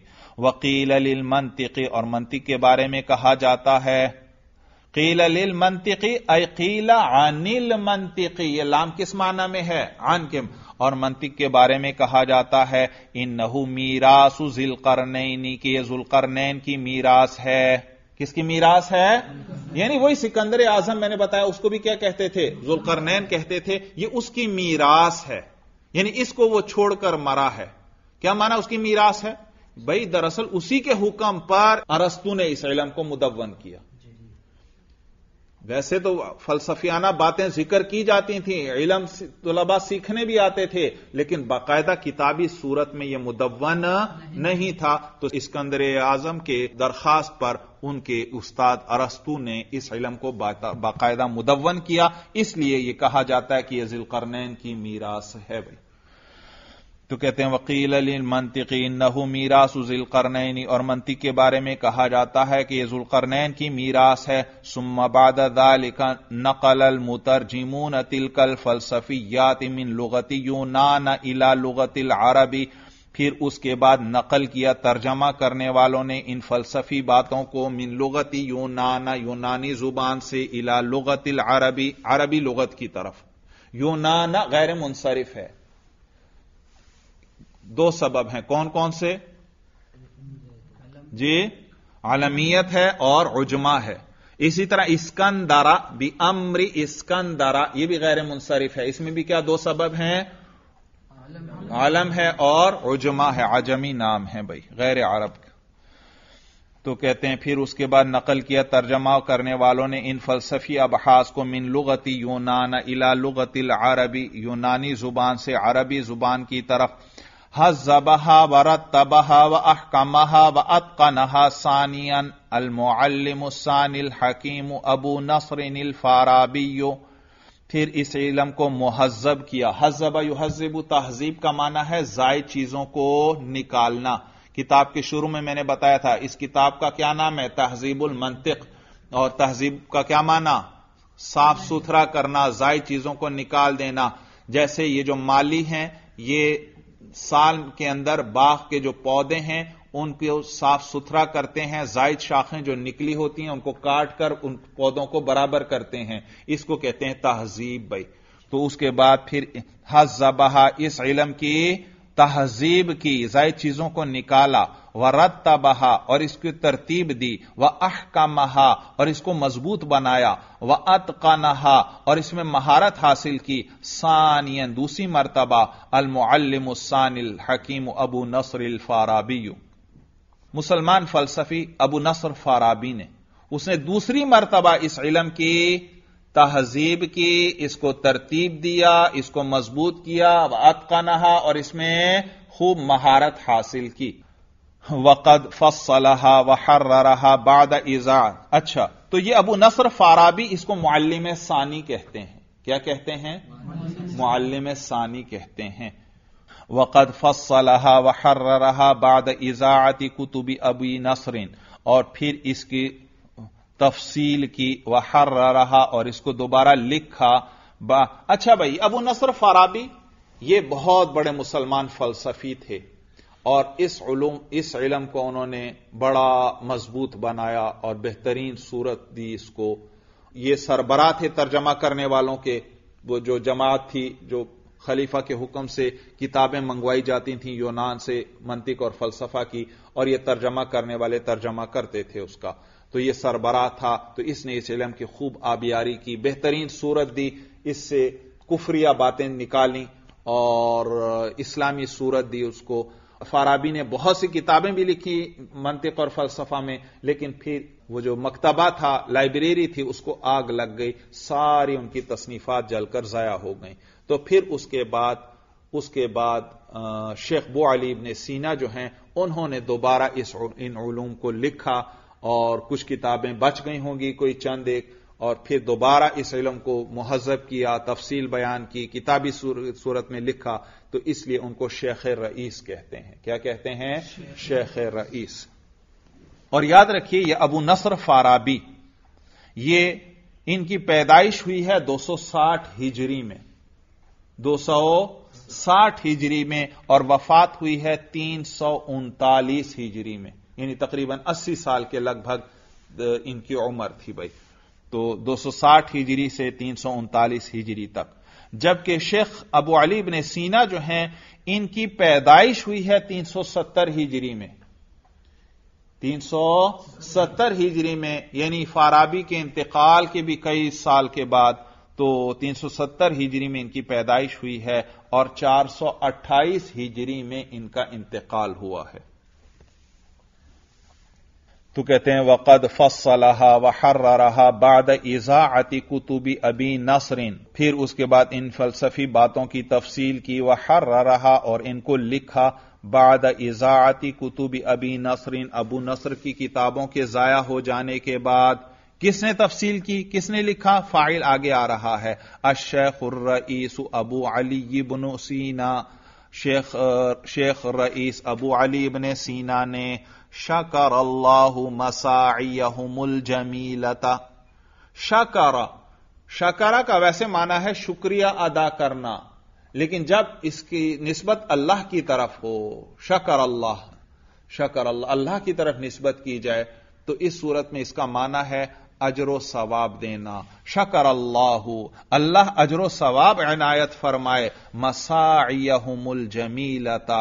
इन उलमा की खूबसूरत काविशों को, खूबसूरत कोशिशों पर अल्लाह इनको अजरो सवाब नसीब फरमाए। तो जब इसकी नस्बत अल्लाह की तरफ़ हो तो इसका क्या माना है?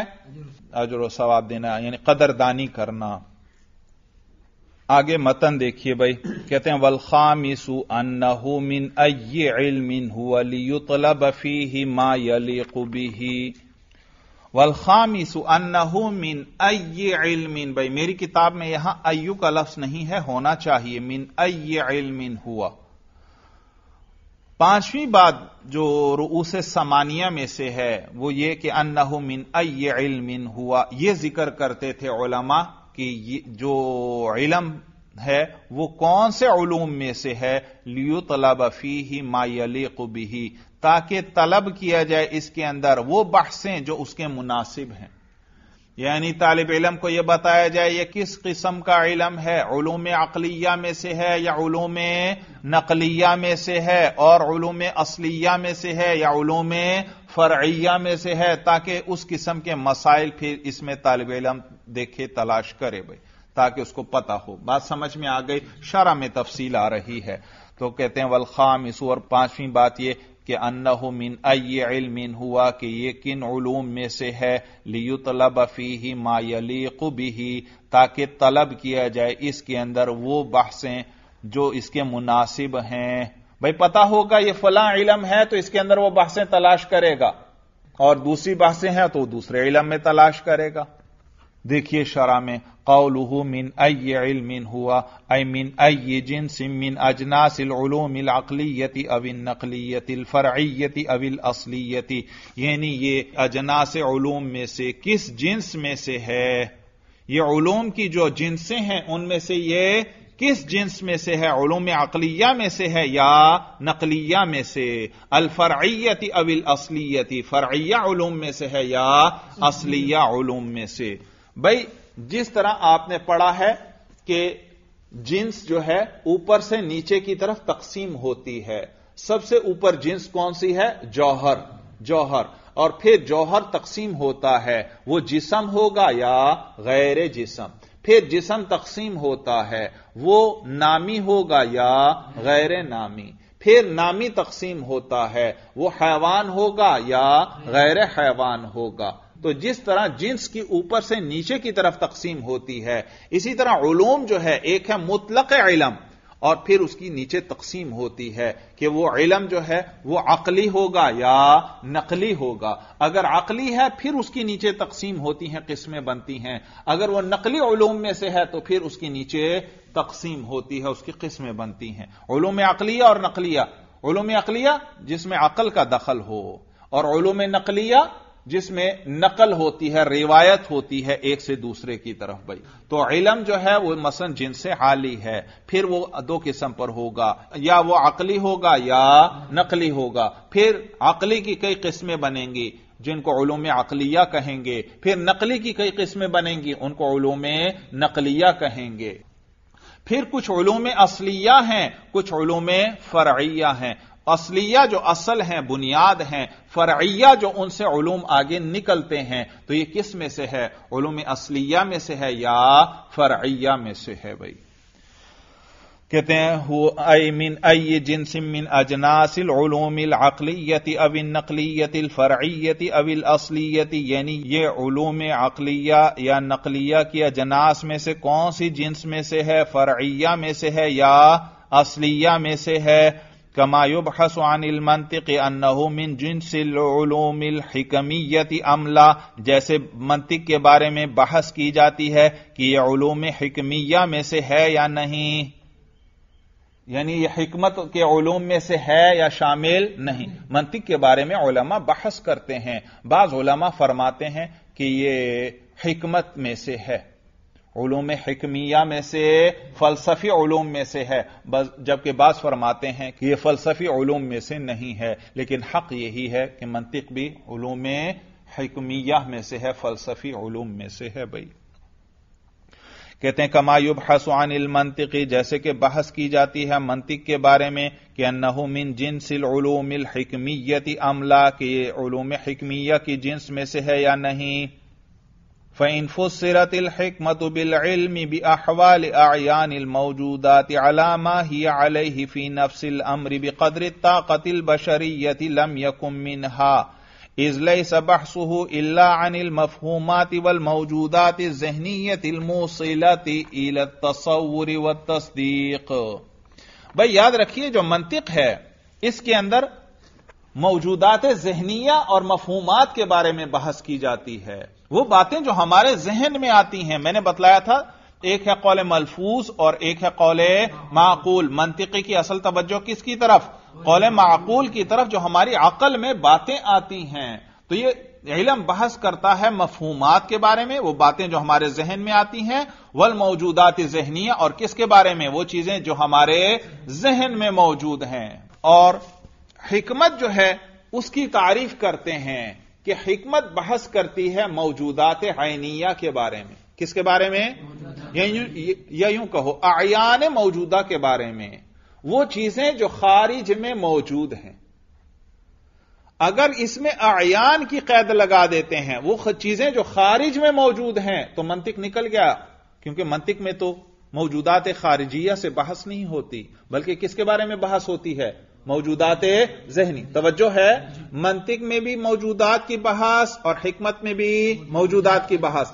लेकिन उस हिकमत में बाज उलमा कैद लगाते हैं कि उसमें मौजूदात ऐनिया, यानी जो खारिज में चीज़ें मौजूद हैं, उनके बारे में बहस की जाती है। खारिज में या नफसुल अमर में जो चीज़ें मौजूद हैं, उनके बारे में बहस की जाती है। अगर इस कैद का वहाँ एतबार कर लिया जाए कि हिकमत वाकई किस इलम का नाम है? जिसमें आयान मौजूदात के बारे में बहस की जाती है, फिर तो मंतिक खारिज हो जाएगी, क्योंकि मंतिक के अंदर तो आयान मौजूदात के बारे में बहस नहीं की जाती, बल्कि मौजूदात जहनिया के बारे में बहस की जाती है। और अगर यह आयान की कैद वहाँ से निकाल दें कि फलसफा, हिकमत जो है, वो सिर्फ़ मौजूदात के बारे में बहस करता है, फिर मंतिक दाखिल हो जाएगी, क्योंकि मौजूदात फिर दो किस्म पर हैं। कुछ मौजूदात खारिजिया और वाकइया हैं और कुछ मौजूदात जहनिया हैं। तो मुतलकन मौजूद कह दे, उसमें आयान की कैद न लगाओ तो फिर मंतिक उसके अंदर दाखिल हो जाएगा। फ़िन फुसरत हमत बिलम बी अहवाल आयान मौजूदाती। अगर तफसीर की जाए हिकमत की, कि ये आयान मौजूदात के अहवाल को जानने का नाम है अगर तफसीर की जाए, हिकमत की, बिल इल्म कि यह जानना है किस चीज़ को? भी अहवाल आयान मौजूदाती। ये आयान मुजाफ है और अल मौजूदात मुजाफुन इल। लेकिन ये दर असल सिफत की इजाफत हो रही है मौसूफ की तरफ़। और तो ये आयान को आखिर में ले जाएँ। बी अहवाल मौजूदातिल आयनीयती अगर तफसीर की जाए, हिकमत की, कि वो जानना है मौजूदात आइनिया के अहवाल को, यानी वो चीज़ें जिनका खारिज में वजूद है, उनके अहवाल को जानने का नाम है हिकमत। अला माहिया अलही फ़ी नफसिल अमरी। उसी हालत पर जिस पर वो नफसुल अमर में है। यानी जैसे कि वो नफसुल अमर में है, वाकई में है। बेकदर ताकत बशरीयती। इंसानी ताकत के बकदर। इंसानी हिकमत नाम है मौजूदात ऐनिया को जानना। अलामा ही अलही नफसिल अमरी। नफसुल अमर में जैसी वो है। वाकए में जैसे वो है।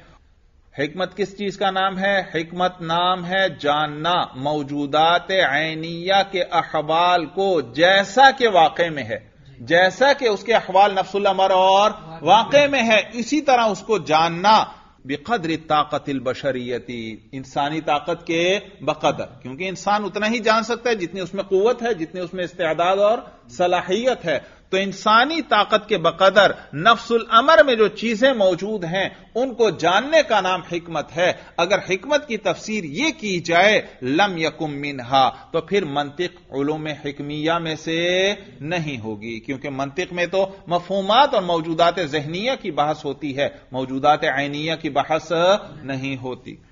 इस लई सबहसू अनिल मफूमात वल मौजूदात जहनीयती। इसलिए क्योंकि मनती की बहस नहीं होती, मगर वो मफूमात और वो मौजूदात जहनिया अलमोसिलती इल तस्वुरी व तस्दीकी, जो पहुँचाने वाले हैं तस्वुर और तस्दीक तक। व इन हुजिफतिल आयान मिन तफसीर अच्छा अगर फलसफा की क्या तारीफ़ की जाए?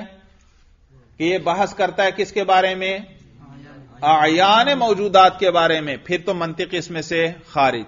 लेकिन अगर फलसफा की तारीफ़ में से आयान का लफ्ज हजफ कर दें, कि फलसफा वो इलम है जो मौजूदात के बारे में बहस करता है, अब मंतिक दाखिल हो गई, क्योंकि मौजूदात वो आम हो गए, वो आयान भी हो सकते हैं और मफहूमात भी हो सकते हैं तो मंतिक भी मौजूदात जहनिया यानी मफहूमात के बारे में बहस करता है। तो कहते हैं, वह इन हुजिफतिल आयान मिन तफसीर मजकूर फहुआ मिनल हिकमती, और अगर हजफ कर लिया जाए आयान को इस मजकूरा तफसीर में से तो फिर मंतिक जो है हिकमत में से है, यानी फलसफे में से है।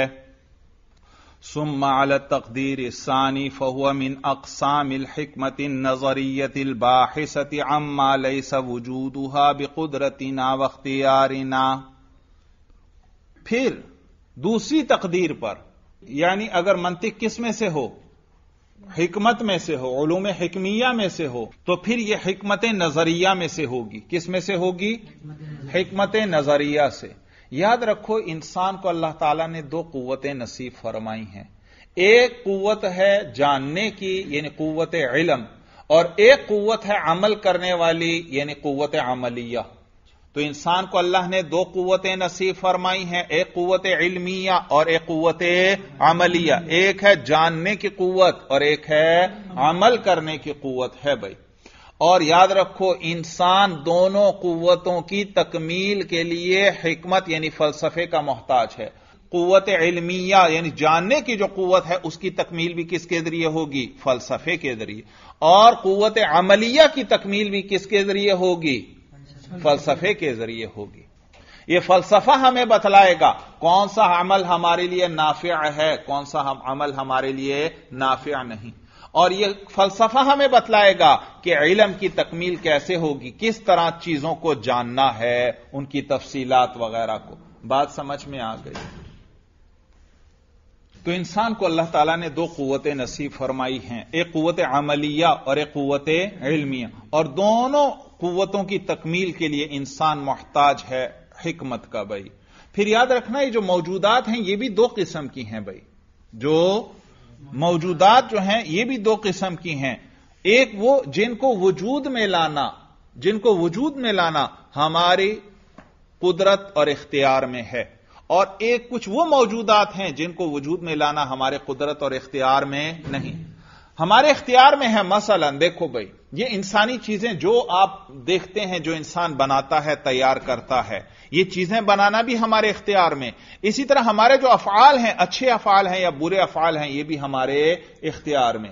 तो ये मौजूदात जो हैं, वो दो किस्म पर हैं। या तो वो हमारे कुदरत और इख्तियार में हैं, या हमारे कुदरत और इख्तियार में नहीं हैं। हमारे कुदरत और इख्तियार में है, ये इंसान की बनाई हुई तमाम चीज़ें भी, और इसी तरह हमारे अफाल भी अच्छे और बुरे हर किस्म के भाई। ये भी क्या है, हमारे कुदरत और इख्तियार में है। जबकि कुछ चीज़ें वो हैं जो हमारे इख्तियार में नहीं है, इनको अल्लाह ने पैदा फरमाया है। जैसे ज़मीन है, आसमान है, सूरज, चाँद, सितारे, ये इंसान है, ये हैवानात हैं, ये पहाड़ हैं, ये दरिया हैं। ये क्या है? ये मौजूदात हैं और ये हमारे कुदरत और इख्तियार में नहीं है। तो मौजूदात गोया दो किस्म के हो गए, कुछ वो हैं जो हमारे कुदरत और इख्तियार में हैं, और इसमें वो चीज़ें भी आ गई जिनको इंसान तैयार करता है और हमारे अच्छे और बुरे अफाल भी आ गए। और कुछ चीज़ें वो हैं जिनका वजूद हमारे कुदरत और इख्तियार में नहीं है। यहाँ तक बात समझ में आ गई। तो याद रखना, वो चीज़ें जो हमारे कुदरत और इख्तियार में हैं उनके हालात से बहस करना यह हमत अमलिया में है। इसको क्या कहते हैं? हमत अमलिया। क्योंकि इसका ताल्लुक अमल से है। इंसान जो कुछ तैयार करता है या जो अफाल करता है, सब इसके अंदर आ गए भाई। और वो चीज़ें जो हमारे कुदरत और इख्तियार में नहीं है, उनके बारे में बहस करना यह हमत नज़रिया है। तो हमत की दो किस्में हो गई। एक हमत अमलिया और एक हमत नज़रिया। तवज्जो है, फिर सुनो। इंसान को अल्लाह ने दो कुत नसीब फरमाई हैं, एक कुत इल्मिया और एक कुत अमलिया। ये जो हमत नज़रिया है, इसमें कुत इलमिया की तकमील होती है और हमत अमलिया के अंदर कुत अमलिया की तकमील होती है। इसमें हम देखते हैं जो चीज़ें हमारे कुदरत और इख्तियार में हैं, किन चीज़ों के बनाने से हमें दुनिया में फ़ायदा है? इसी तरह कौन से अमाल करने से हमें दुनिया में फ़ायदा है और कौन से अमाल करने से हमें आखिरत में फ़ायदा है? सारी बहस इसके अंदर होती है। ये कुरान, हदीस, फिका वगैरह सब इसी के अंदर आ गए। इसी तरह तमाम ये साइंस की चीज़ें कि अगर आप इस तरह ये ये चीज़ें सीख लेंगे तो आप ये चीज़ें दुनिया के अंदर अपने नफे के लिए बना सकते हैं। ये चीज़ें अपने नफे के लिए बना सकते हैं। तो ये, इन सब का ताल्लुक किससे है? हमत अमलिया से है और दूसरी हमत नज़रिया है। उसमें सिर्फ़ इलम की तकमील होती है। उसमें सिर्फ़ इलम। देखो, इंसान को अल्लाह ने ऐसा बनाया है कि यह हर चीज़ को जानने की कोशिश करता है। बच्चा भी एक छोटा सा होता है। जब भी कोई नई चीज़ देखता है, फ़ौरन बाप से पूछता है कि यह क्या है? तो इसी तरह इंसान भी ये कायनात के असरात ये चीज़ें इंसान के इख्तियार में नहीं है। ये ज़मीन, आसमान, ये सितारे वगैरह, ये हैवानात, लेकिन इंसान इन सबको जानने की कोशिश करता है। हमत अमलिया में हमारी कुत अमलिया की तकमील होती है। अगर हम उसको जानते होंगे तो खूब ज़्यादा ज़्यादा अमल में हम आगे बढ़ेंगे। और हमत नज़रिया के ज़रिए हमारे कुत इल्मिया की तकमील होती है। ये चीज़ें, ये आसमान वगैरह, अगरचे इनके बनाने में हमारी कोई कुदरत और इख्तियार नहीं, लेकिन हम इनकी ज़्यादा से ज़्यादा मालूम इकट्ठी करते हैं। तो कहते हैं सुम माल तकदीर इसानी फिर दूसरी तकदीर पर फहुआ मिन अकसाम हमत नजरियत बाहिसती फिर दूसरी तकदीर पर, यानी अगर यह हमत में से हो फहुआ मिन अकसाम हमत नजरियती तो फिर यह हमत नज़रिया की अकसाम में से है। अलबाहिसत अम्मा लैसा वजूद बिकुदरतिना वख्तियारिना वो हमत नज़रिया जो बहस करती है आम्मा उन चीज़ों के बारे में, लैसा वजूद के उनका वजूद नहीं है, बेकुदरतीना वख्तियारिना हमारी कुदरत और इख्तियार से। हिकमत नज़रिया भाई। ये नज़रिया बदीही के मुकाबले में है। नज़रिया क्या माना? नजरी हो, बदीही ना हो, क्योंकि बदीहियात के जानने को हिकमत नहीं कहते, बल्कि नजरी चीज़ों को जानने का नाम क्या है? हिकमत है, इसलिए इसको हिकमत नज़रिया कहते हैं। यहाँ यह हाशिया भी देख लें भाई। यह हाशिया में बड़ी बेहतरीन तफसील दी हुई है।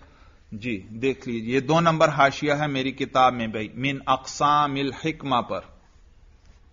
कहते हैं, अलहकमत नजरियत एलम अन अलहकमत इल्म बी अहवाल आयान मौजूदात अलामा ही अलफी नफसिल अमरी बकदर ताकतिल बशरियती। कि हिकमत वो जानना है आयान मौजूदात के अहवाल को उस पर, जैसे कि वो नफसुल अमर में है, इंसानी कुत के बकदर। व तिलकल आयान इमल अफ़ाल वल आमालती वजूद वहा बेकुदरतीना वख्तियारिना अवला।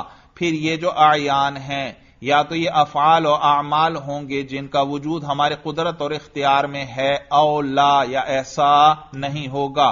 फ़ालम तू जान ले, फल इल्म बी अहवाल अव्वल मिन हैसु अन्नहु युअद्दी इला सलाहिल वल युसम्मा हिकमतन अमलियतन, के अव्वल के अहवाल को जानना इस हैसियत से कि ये पहुँचाने वाले हैं हमारी माश और माद यानी दुनिया और आखरत की इसलाह की तरफ़। हमत अमलिया में हम क्या सीखते हैं? वो अमल, वो चीज़ें जो हमें दुनिया में और आखिरत में फ़ायदा पहुंचाएँ। दुनिया में देखो, मुख्तलिफ़ फनून लोग सीखते हैं ताकि दुनियावी ज़िंदगी में आसानियाँ आ जाएँ, खूब पैसे कमा लें। और आखरत के लिए भी फिर कुरान और हदीस हमें बतलाता है कि इन चीज़ों में हमारी आखरत बेहतर होगी तो ये सब हमत अमलिया में दाखिल हैं। तो कहते हैं फल इल्म भी अहवाल अव्वली मिन हैसु अन्नहु युअद्दी इला सलाह माआश वल हिकमतन अमलियतन.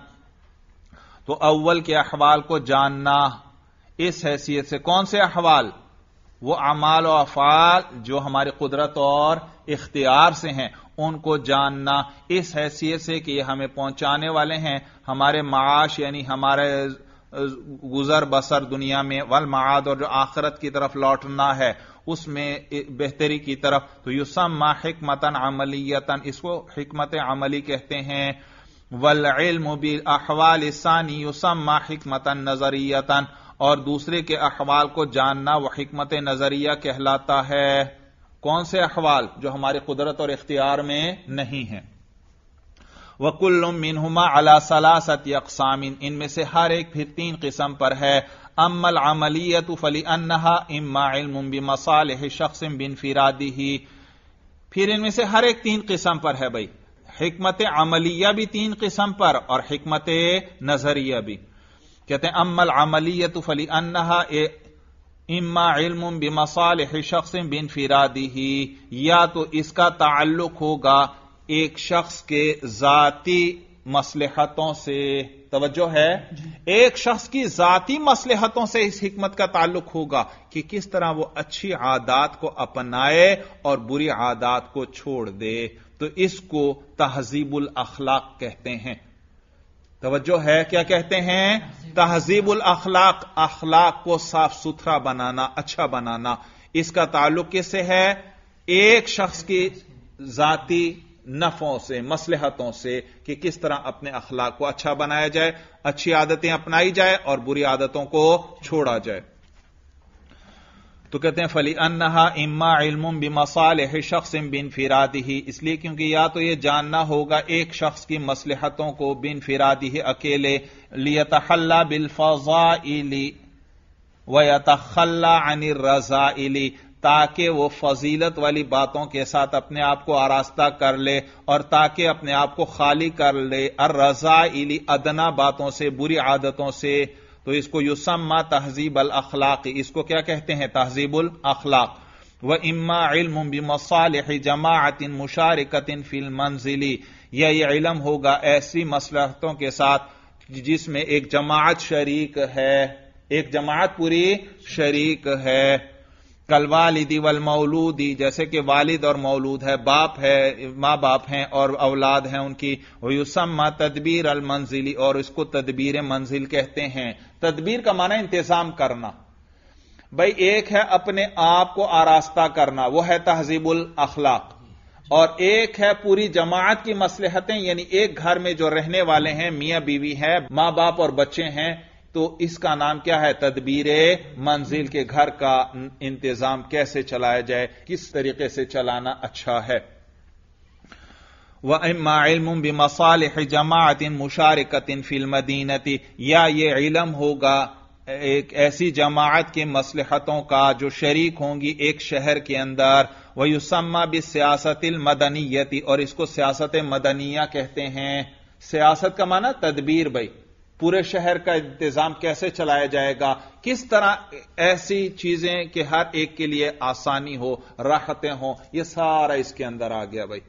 अमन नज़रिया, बाकी दूसरी किस्म हिकमत नज़रिया फली अन नहाजी हिकमत नज़रिया याद रखो। या तो इसके बारे में ऐसी चीज़ों के अहवाल से बहस होगी, जो खारिज में भी मादे की मोहताज हैं और जहन में भी मादे की मोहताज हैं।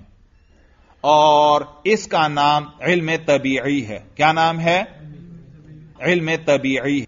और या ये ऐसी चीज़ के अहवाल के बारे में बहस करेगा जो खारिज में तो मादे की मोहताज है, जहन में मादे की मोहताज नहीं है। इसका नाम इल्म रियाजी है। क्या नाम है? इल्म रियाजी है। और या या ऐसी चीज़ों के अहवाल से जो न खारिज में मादे की मोहताज हैं और न जहन में मादे की मोहताज हैं। जैसे अल्लाह ताला की जात और अकूल अशरा हैं। तो इसका नाम इल्म इलाही है। क्या नाम है? इल्म इलाही है। तो हासिल कलाम क्या हुआ? अच्छा चलो, हाँ, तर्जमा भी देख लें भाई, इसका भी तर्जमा देख लें। कहते हैं अमन नजरियत फली अन्ना इम्मा इल्म अहवाल माला यफ्तकिर फिल वजूद खारिजी व ताकुल इल मादती या तो इसमें बहस होगी उन चीज़ों के बारे में जो न वजूद खारजी में मादे की मोहताज हैं और न ताकुल में, यानी न जहन में। कल इलाही, जैसे कि इलाह है, मबूद है। वह युसमल इल्म आला। और इसको इल्म आला भी कहते हैं, वल इलाही और इल्म इलाही भी कहते हैं, वल फलसफा अल उला और इसको फलसफा उला भी कहते हैं, वल इल्म अल कुल्लिया और इसको इल्म कुल्ली भी कहते हैं, व माबादत तबीआती और इसको इल्म माबादत तबीआ भी कहते हैं वक़द युतलक़ अलैहि मा कबल तबीआती ऐज़न नादिरान और कभी कभार इस पर माकबल तबीयत का का इतलाक भी किया जाता है। भाई इल्म इलाही है, उन अहवाल उन चीज़ों के अहवाल के बारे में बहस जो ना खारिज में मादे की मोहताज हैं और ना जहन, जैसे अल्लाह ताला की जात है। और जैसे मनातिका के नज़दीक उनका अकीदा है, जी अकूल आशरा हैं। जो दस अकलें हैं जो अल्लाह ने पैदा फरमाई, वो क्या कर रही हैं? इस कायनात का निज़ाम चला रही हैं। अगरचे ये गलत अकीदा है तो लेकिन बहरहाल इसमें उन चीज़ों के बारे में बहस होती है जो ना वो खारिज में मादे की मोहताज हैं और ना जहन में, जैसे अल्लाह ताला की जात है। अल्लाह अपने वजूद में किसी मादे के मोहताज नहीं है, ना खारिज में और ना जहन में भाई। और इसको इल्म इलाही कहते हैं, क्योंकि इसका सबसे आला जुज इलाह, यानी मबूद है। लिहाजा इसका नाम क्या? इल्म इलाही। और नीज चूँकि इसमें मबूद के बारे में बात होती है, इसलिए इसका नाम इल्म आला भी है, और इसका नाम फलसफा उला भी है, और नीज इसका नाम इल्म कुल्ली है, कुल्ली भी है। कई नाम इन्होंने आपको बतला दिए। व इम्मा इल्म अहवाल यफ्तकिर इलेहा फिल वजूद खारिजी दोन ताकुली कल कुरती यह इलम होगा उन चीज़ों के अहवाल का जो वजूद खारजी के अंदर तो मादे की मोहताज हैं जहन के अंदर मादे की मोहताज नहीं है कल कुरा जैसे कुरा है कुरा गोल जिसम देखो ये कुरा खारिज में तो अपने वजूद में मादे का मोहताज है खारिज में जब भी होगा कुरा गोल जिसम या वो मिट्टी का होगा, या लोहे का होगा, या तांबे, या सोने का, या चांदी, किसी न किसी चीज़ का होगा। लेकिन जहन में इसके ताकुल के लिए यह मादे का मोहताज नहीं। इंसान का जब भी आप ताकुल करें, इंसान किस चीज़ से बना है? गोश्त और हड्डियों से। तो आपको भी जहन में क्या तस्वुर करना पड़ेगा? गोश्त और हड्डियों कैसे बना हुआ इंसान? बात समझ में आ गई। वह अम्मा इल्म बी अहवाल मा यफ्तर इलेहा फिल वजूद खारिजी दून ताकुली और बाकी जानना उस चीज़ के अहवाल को जो मा यफ्तर इलेहा, वो जो मादे की मोहताज है, फिल वजूद खारिजी वजूद खारिजी में। दून ताकुली ना के ताकुल में, कल कुरती, जैसे कि कुरा है, गोल जिसम। वह इल्मौसत और यह इल्म औसत है वह युसम्मा बिर रियाजी व तालीमी और इसको इल्म रियाजी भी कहते हैं और इल्म तालीमी भी वह इम्मा भी अहवाल मा यफ्तर इलेहा फिल वजूदी व ताकुली या ये इलम होगा उस चीज़ के अहवाल के बारे में यफ्तर इलेहा जो मादे की मोहताज है फिल वजूदी व ताकुली वजूद और ताकुल दोनों में कल इंसानी, जैसे कि इंसान है वह हुआ इल्म अव्वल, और वह इल्म अव्वल है वह युसमल इल्म तबीयी और इसको इल्म तबीयी भी कहते हैं। भाई देखिए, फिर हासिल कलाम फिर सुन लीजिए इसका, जो यहाँ इन्होंने तफसील बयान की। कहते हैं इसलिए क्योंकि हिकमत जो है इसमें या तो उन चीज़ों की बहस होगी जो हमारे इख्तियार और कुदरत में है, या उन चीज़ों की बहस होगी जो हमारे इख्तियार और कुदरत में नहीं। अगर वह हमारे इख्तियार और कुदरत में है तो वह हमत अमलिया है, और अगर वह हमारे इख्तियार और कुदरत में नहीं है तो वह हमत नज़रिया है। हमत अमलिया के ज़रिए हमारी हमारी अमलिया की तकमील होती है, और हमत नज़रिया के ज़रिए हमारी कुत इल्मिया की तकमील होती है। और फिर यह हमत अमलिया जो है यह तीन किस्म पर है। या तो इसका ताल्लुक होगा ऐसे मसालह से जिसका ताल्लुक एक फर्द से है और इसका नाम तहजीबुल अखलाक है। या इसका ताल्लुक एक जमात से होगा, लेकिन वह जमात एक घर में रहने वाली है, यानी मियाँ बीवी हैं या माँ बाप और औलाद वगैरह हैं, और इसका नाम क्या है? तदबीर मंजिल है। इस पूरी जमात की मसलहतों से जो इलम मुतालिक हो, उसको क्या कहते हैं? तदबीर मंजिल। या ऐसी जमात की मसलहतों से इस इलम का ताल्लुक है जो एक शहर में या एक मुल्क में रहने वाले हैं तो इसको सियासत मदनिया कहते हैं। तीन किस्में हो गई। हमत अमलिया की तीन किस्में हो गई, तहजीबुल अखलाक, तदबीर मंजिल और सियासत मदनिया। और हमत नज़रिया जो है, वो उन चीज़ों के अहवाल को जानने का नाम जो हमारे कुदरत और इख्तियार में नहीं है। और ये फिर तीन किस्म पर है। या यह इल्म इलाही होगा, या इल्म तबीई होगा, या इल्म रियाजी होगा।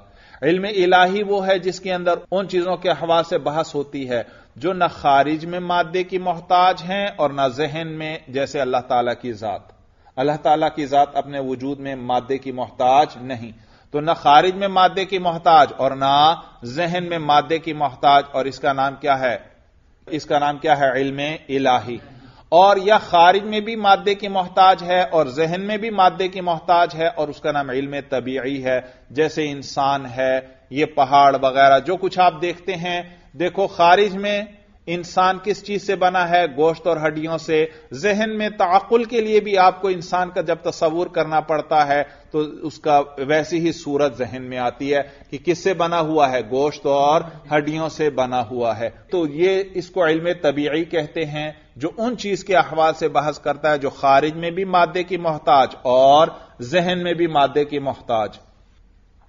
या उस हिकमत के अंदर ऐसी चीज़ों के अहवाल से बहस होगी जो खारिज में तो मादे की मोहताज हैं, जहन में मादे की मोहताज नहीं। उसको इल्म रियाजी वगैरह कहते हैं, जिसमें इल्म रियाजी आ गया, हंदसा वगैरह आ गए, जिस ये ज्योमेट्री की शक्लें, जैसे देखो, एक कुरा है, गोल जिसम है। ये खारिज में हो तो ये किसी न किसी चीज़ का होगा। लेकिन जहन में इसके ताकुल के लिए, इसके तस्वुर करने के लिए किसी खास मादे का यह मोहताज नहीं है। आप कुरे का तस्वूर करते हैं, गोल जिसम, या एक चौकोर जिसम का तस्वूर करते हैं, जिसको मुरब्बा कहते हैं, या मुस्ततील है जो जरा लंबा है, या मुसलस है जिसके तीन कोने होते हैं, ये चीज़ें खारिज में जब भी होंगी, किसी न किसी चीज़ की होंगी, या पत्थर की हैं, या लकड़ी की हैं, या लोहे की हैं तो खारिज में ये अपने वजूद के अंदर ये मादे की मोहताज हैं, किसी मखसूस मादे की। लेकिन जहन में ये ताकुल के लिए किसी मखसूस मादे की मोहताज नहीं है।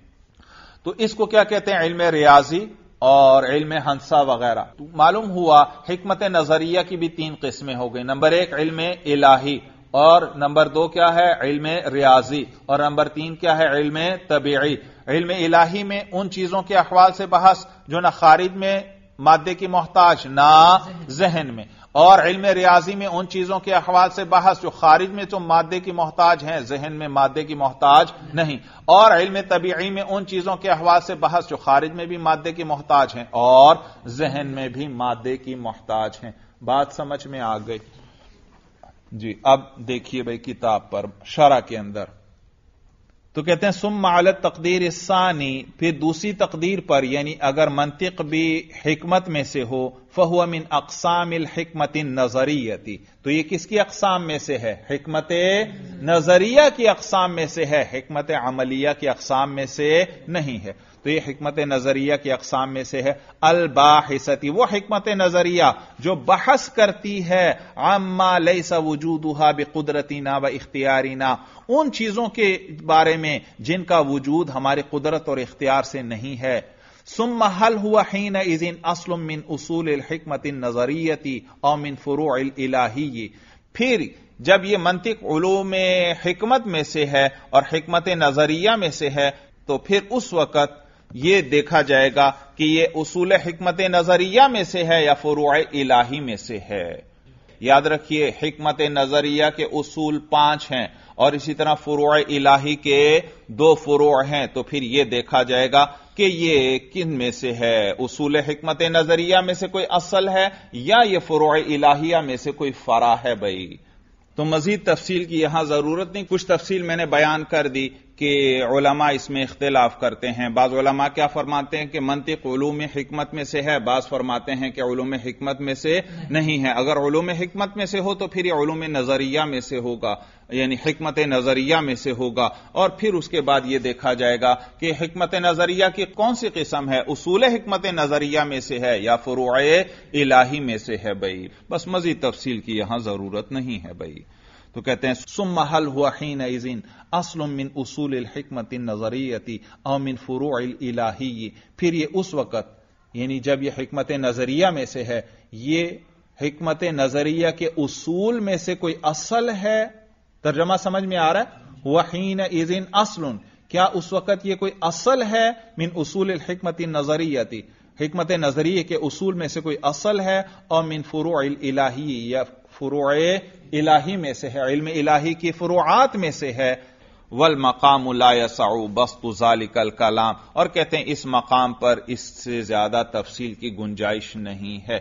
बस्त तफसील को कहते हैं, वल मकाम। और ये जो मकाम है लायासाऊ इसमें गुंजाइश नहीं है। बस्तु जालिकल कलामी, इस कलाम की तफसील की, इसमें यहाँ गुंजाइश नहीं। इब्तदाई तलबा की किताब है, उनके लिए इतना ही काफ़ी है। चलिए बस करें। बात अच्छी तरह समझ में आ गई। हासिल कलाम। ये आखिर में जो थोड़ी सी बहस आई, वो सिर्फ़ ये इन्होंने ज़िक्र की कि फिर तालब इलम के लिए पांचवी चीज़ ये जानना ज़रूरी है कि उसको ये बतलाया जाए कि ये किस नौ का इलम है, ताकि वो उसी किस्म के मसाइल उस इलम में तलाश करे कि ये उलूम हिकमिया में से है या नहीं। अगर है तो फिर ये हमत अमलिया में से है या हमत नज़रिया में से है। जैसे मंतिक जो है, इसके बारे में भी इख्तलाफ है कि यह हमत में से है या नहीं। फिर अगर हमत में से है तो फिर यह हमत नज़रिया के अंदर शामिल होगा और हमत नज़रिया जो है, उसके अंदर हमारी कुत इल्मिया की तकमील होती है और इसमें उन चीज़ों के अहवाल से बहस होती है जो हमारे कुदरत और इख्तियार में नहीं है।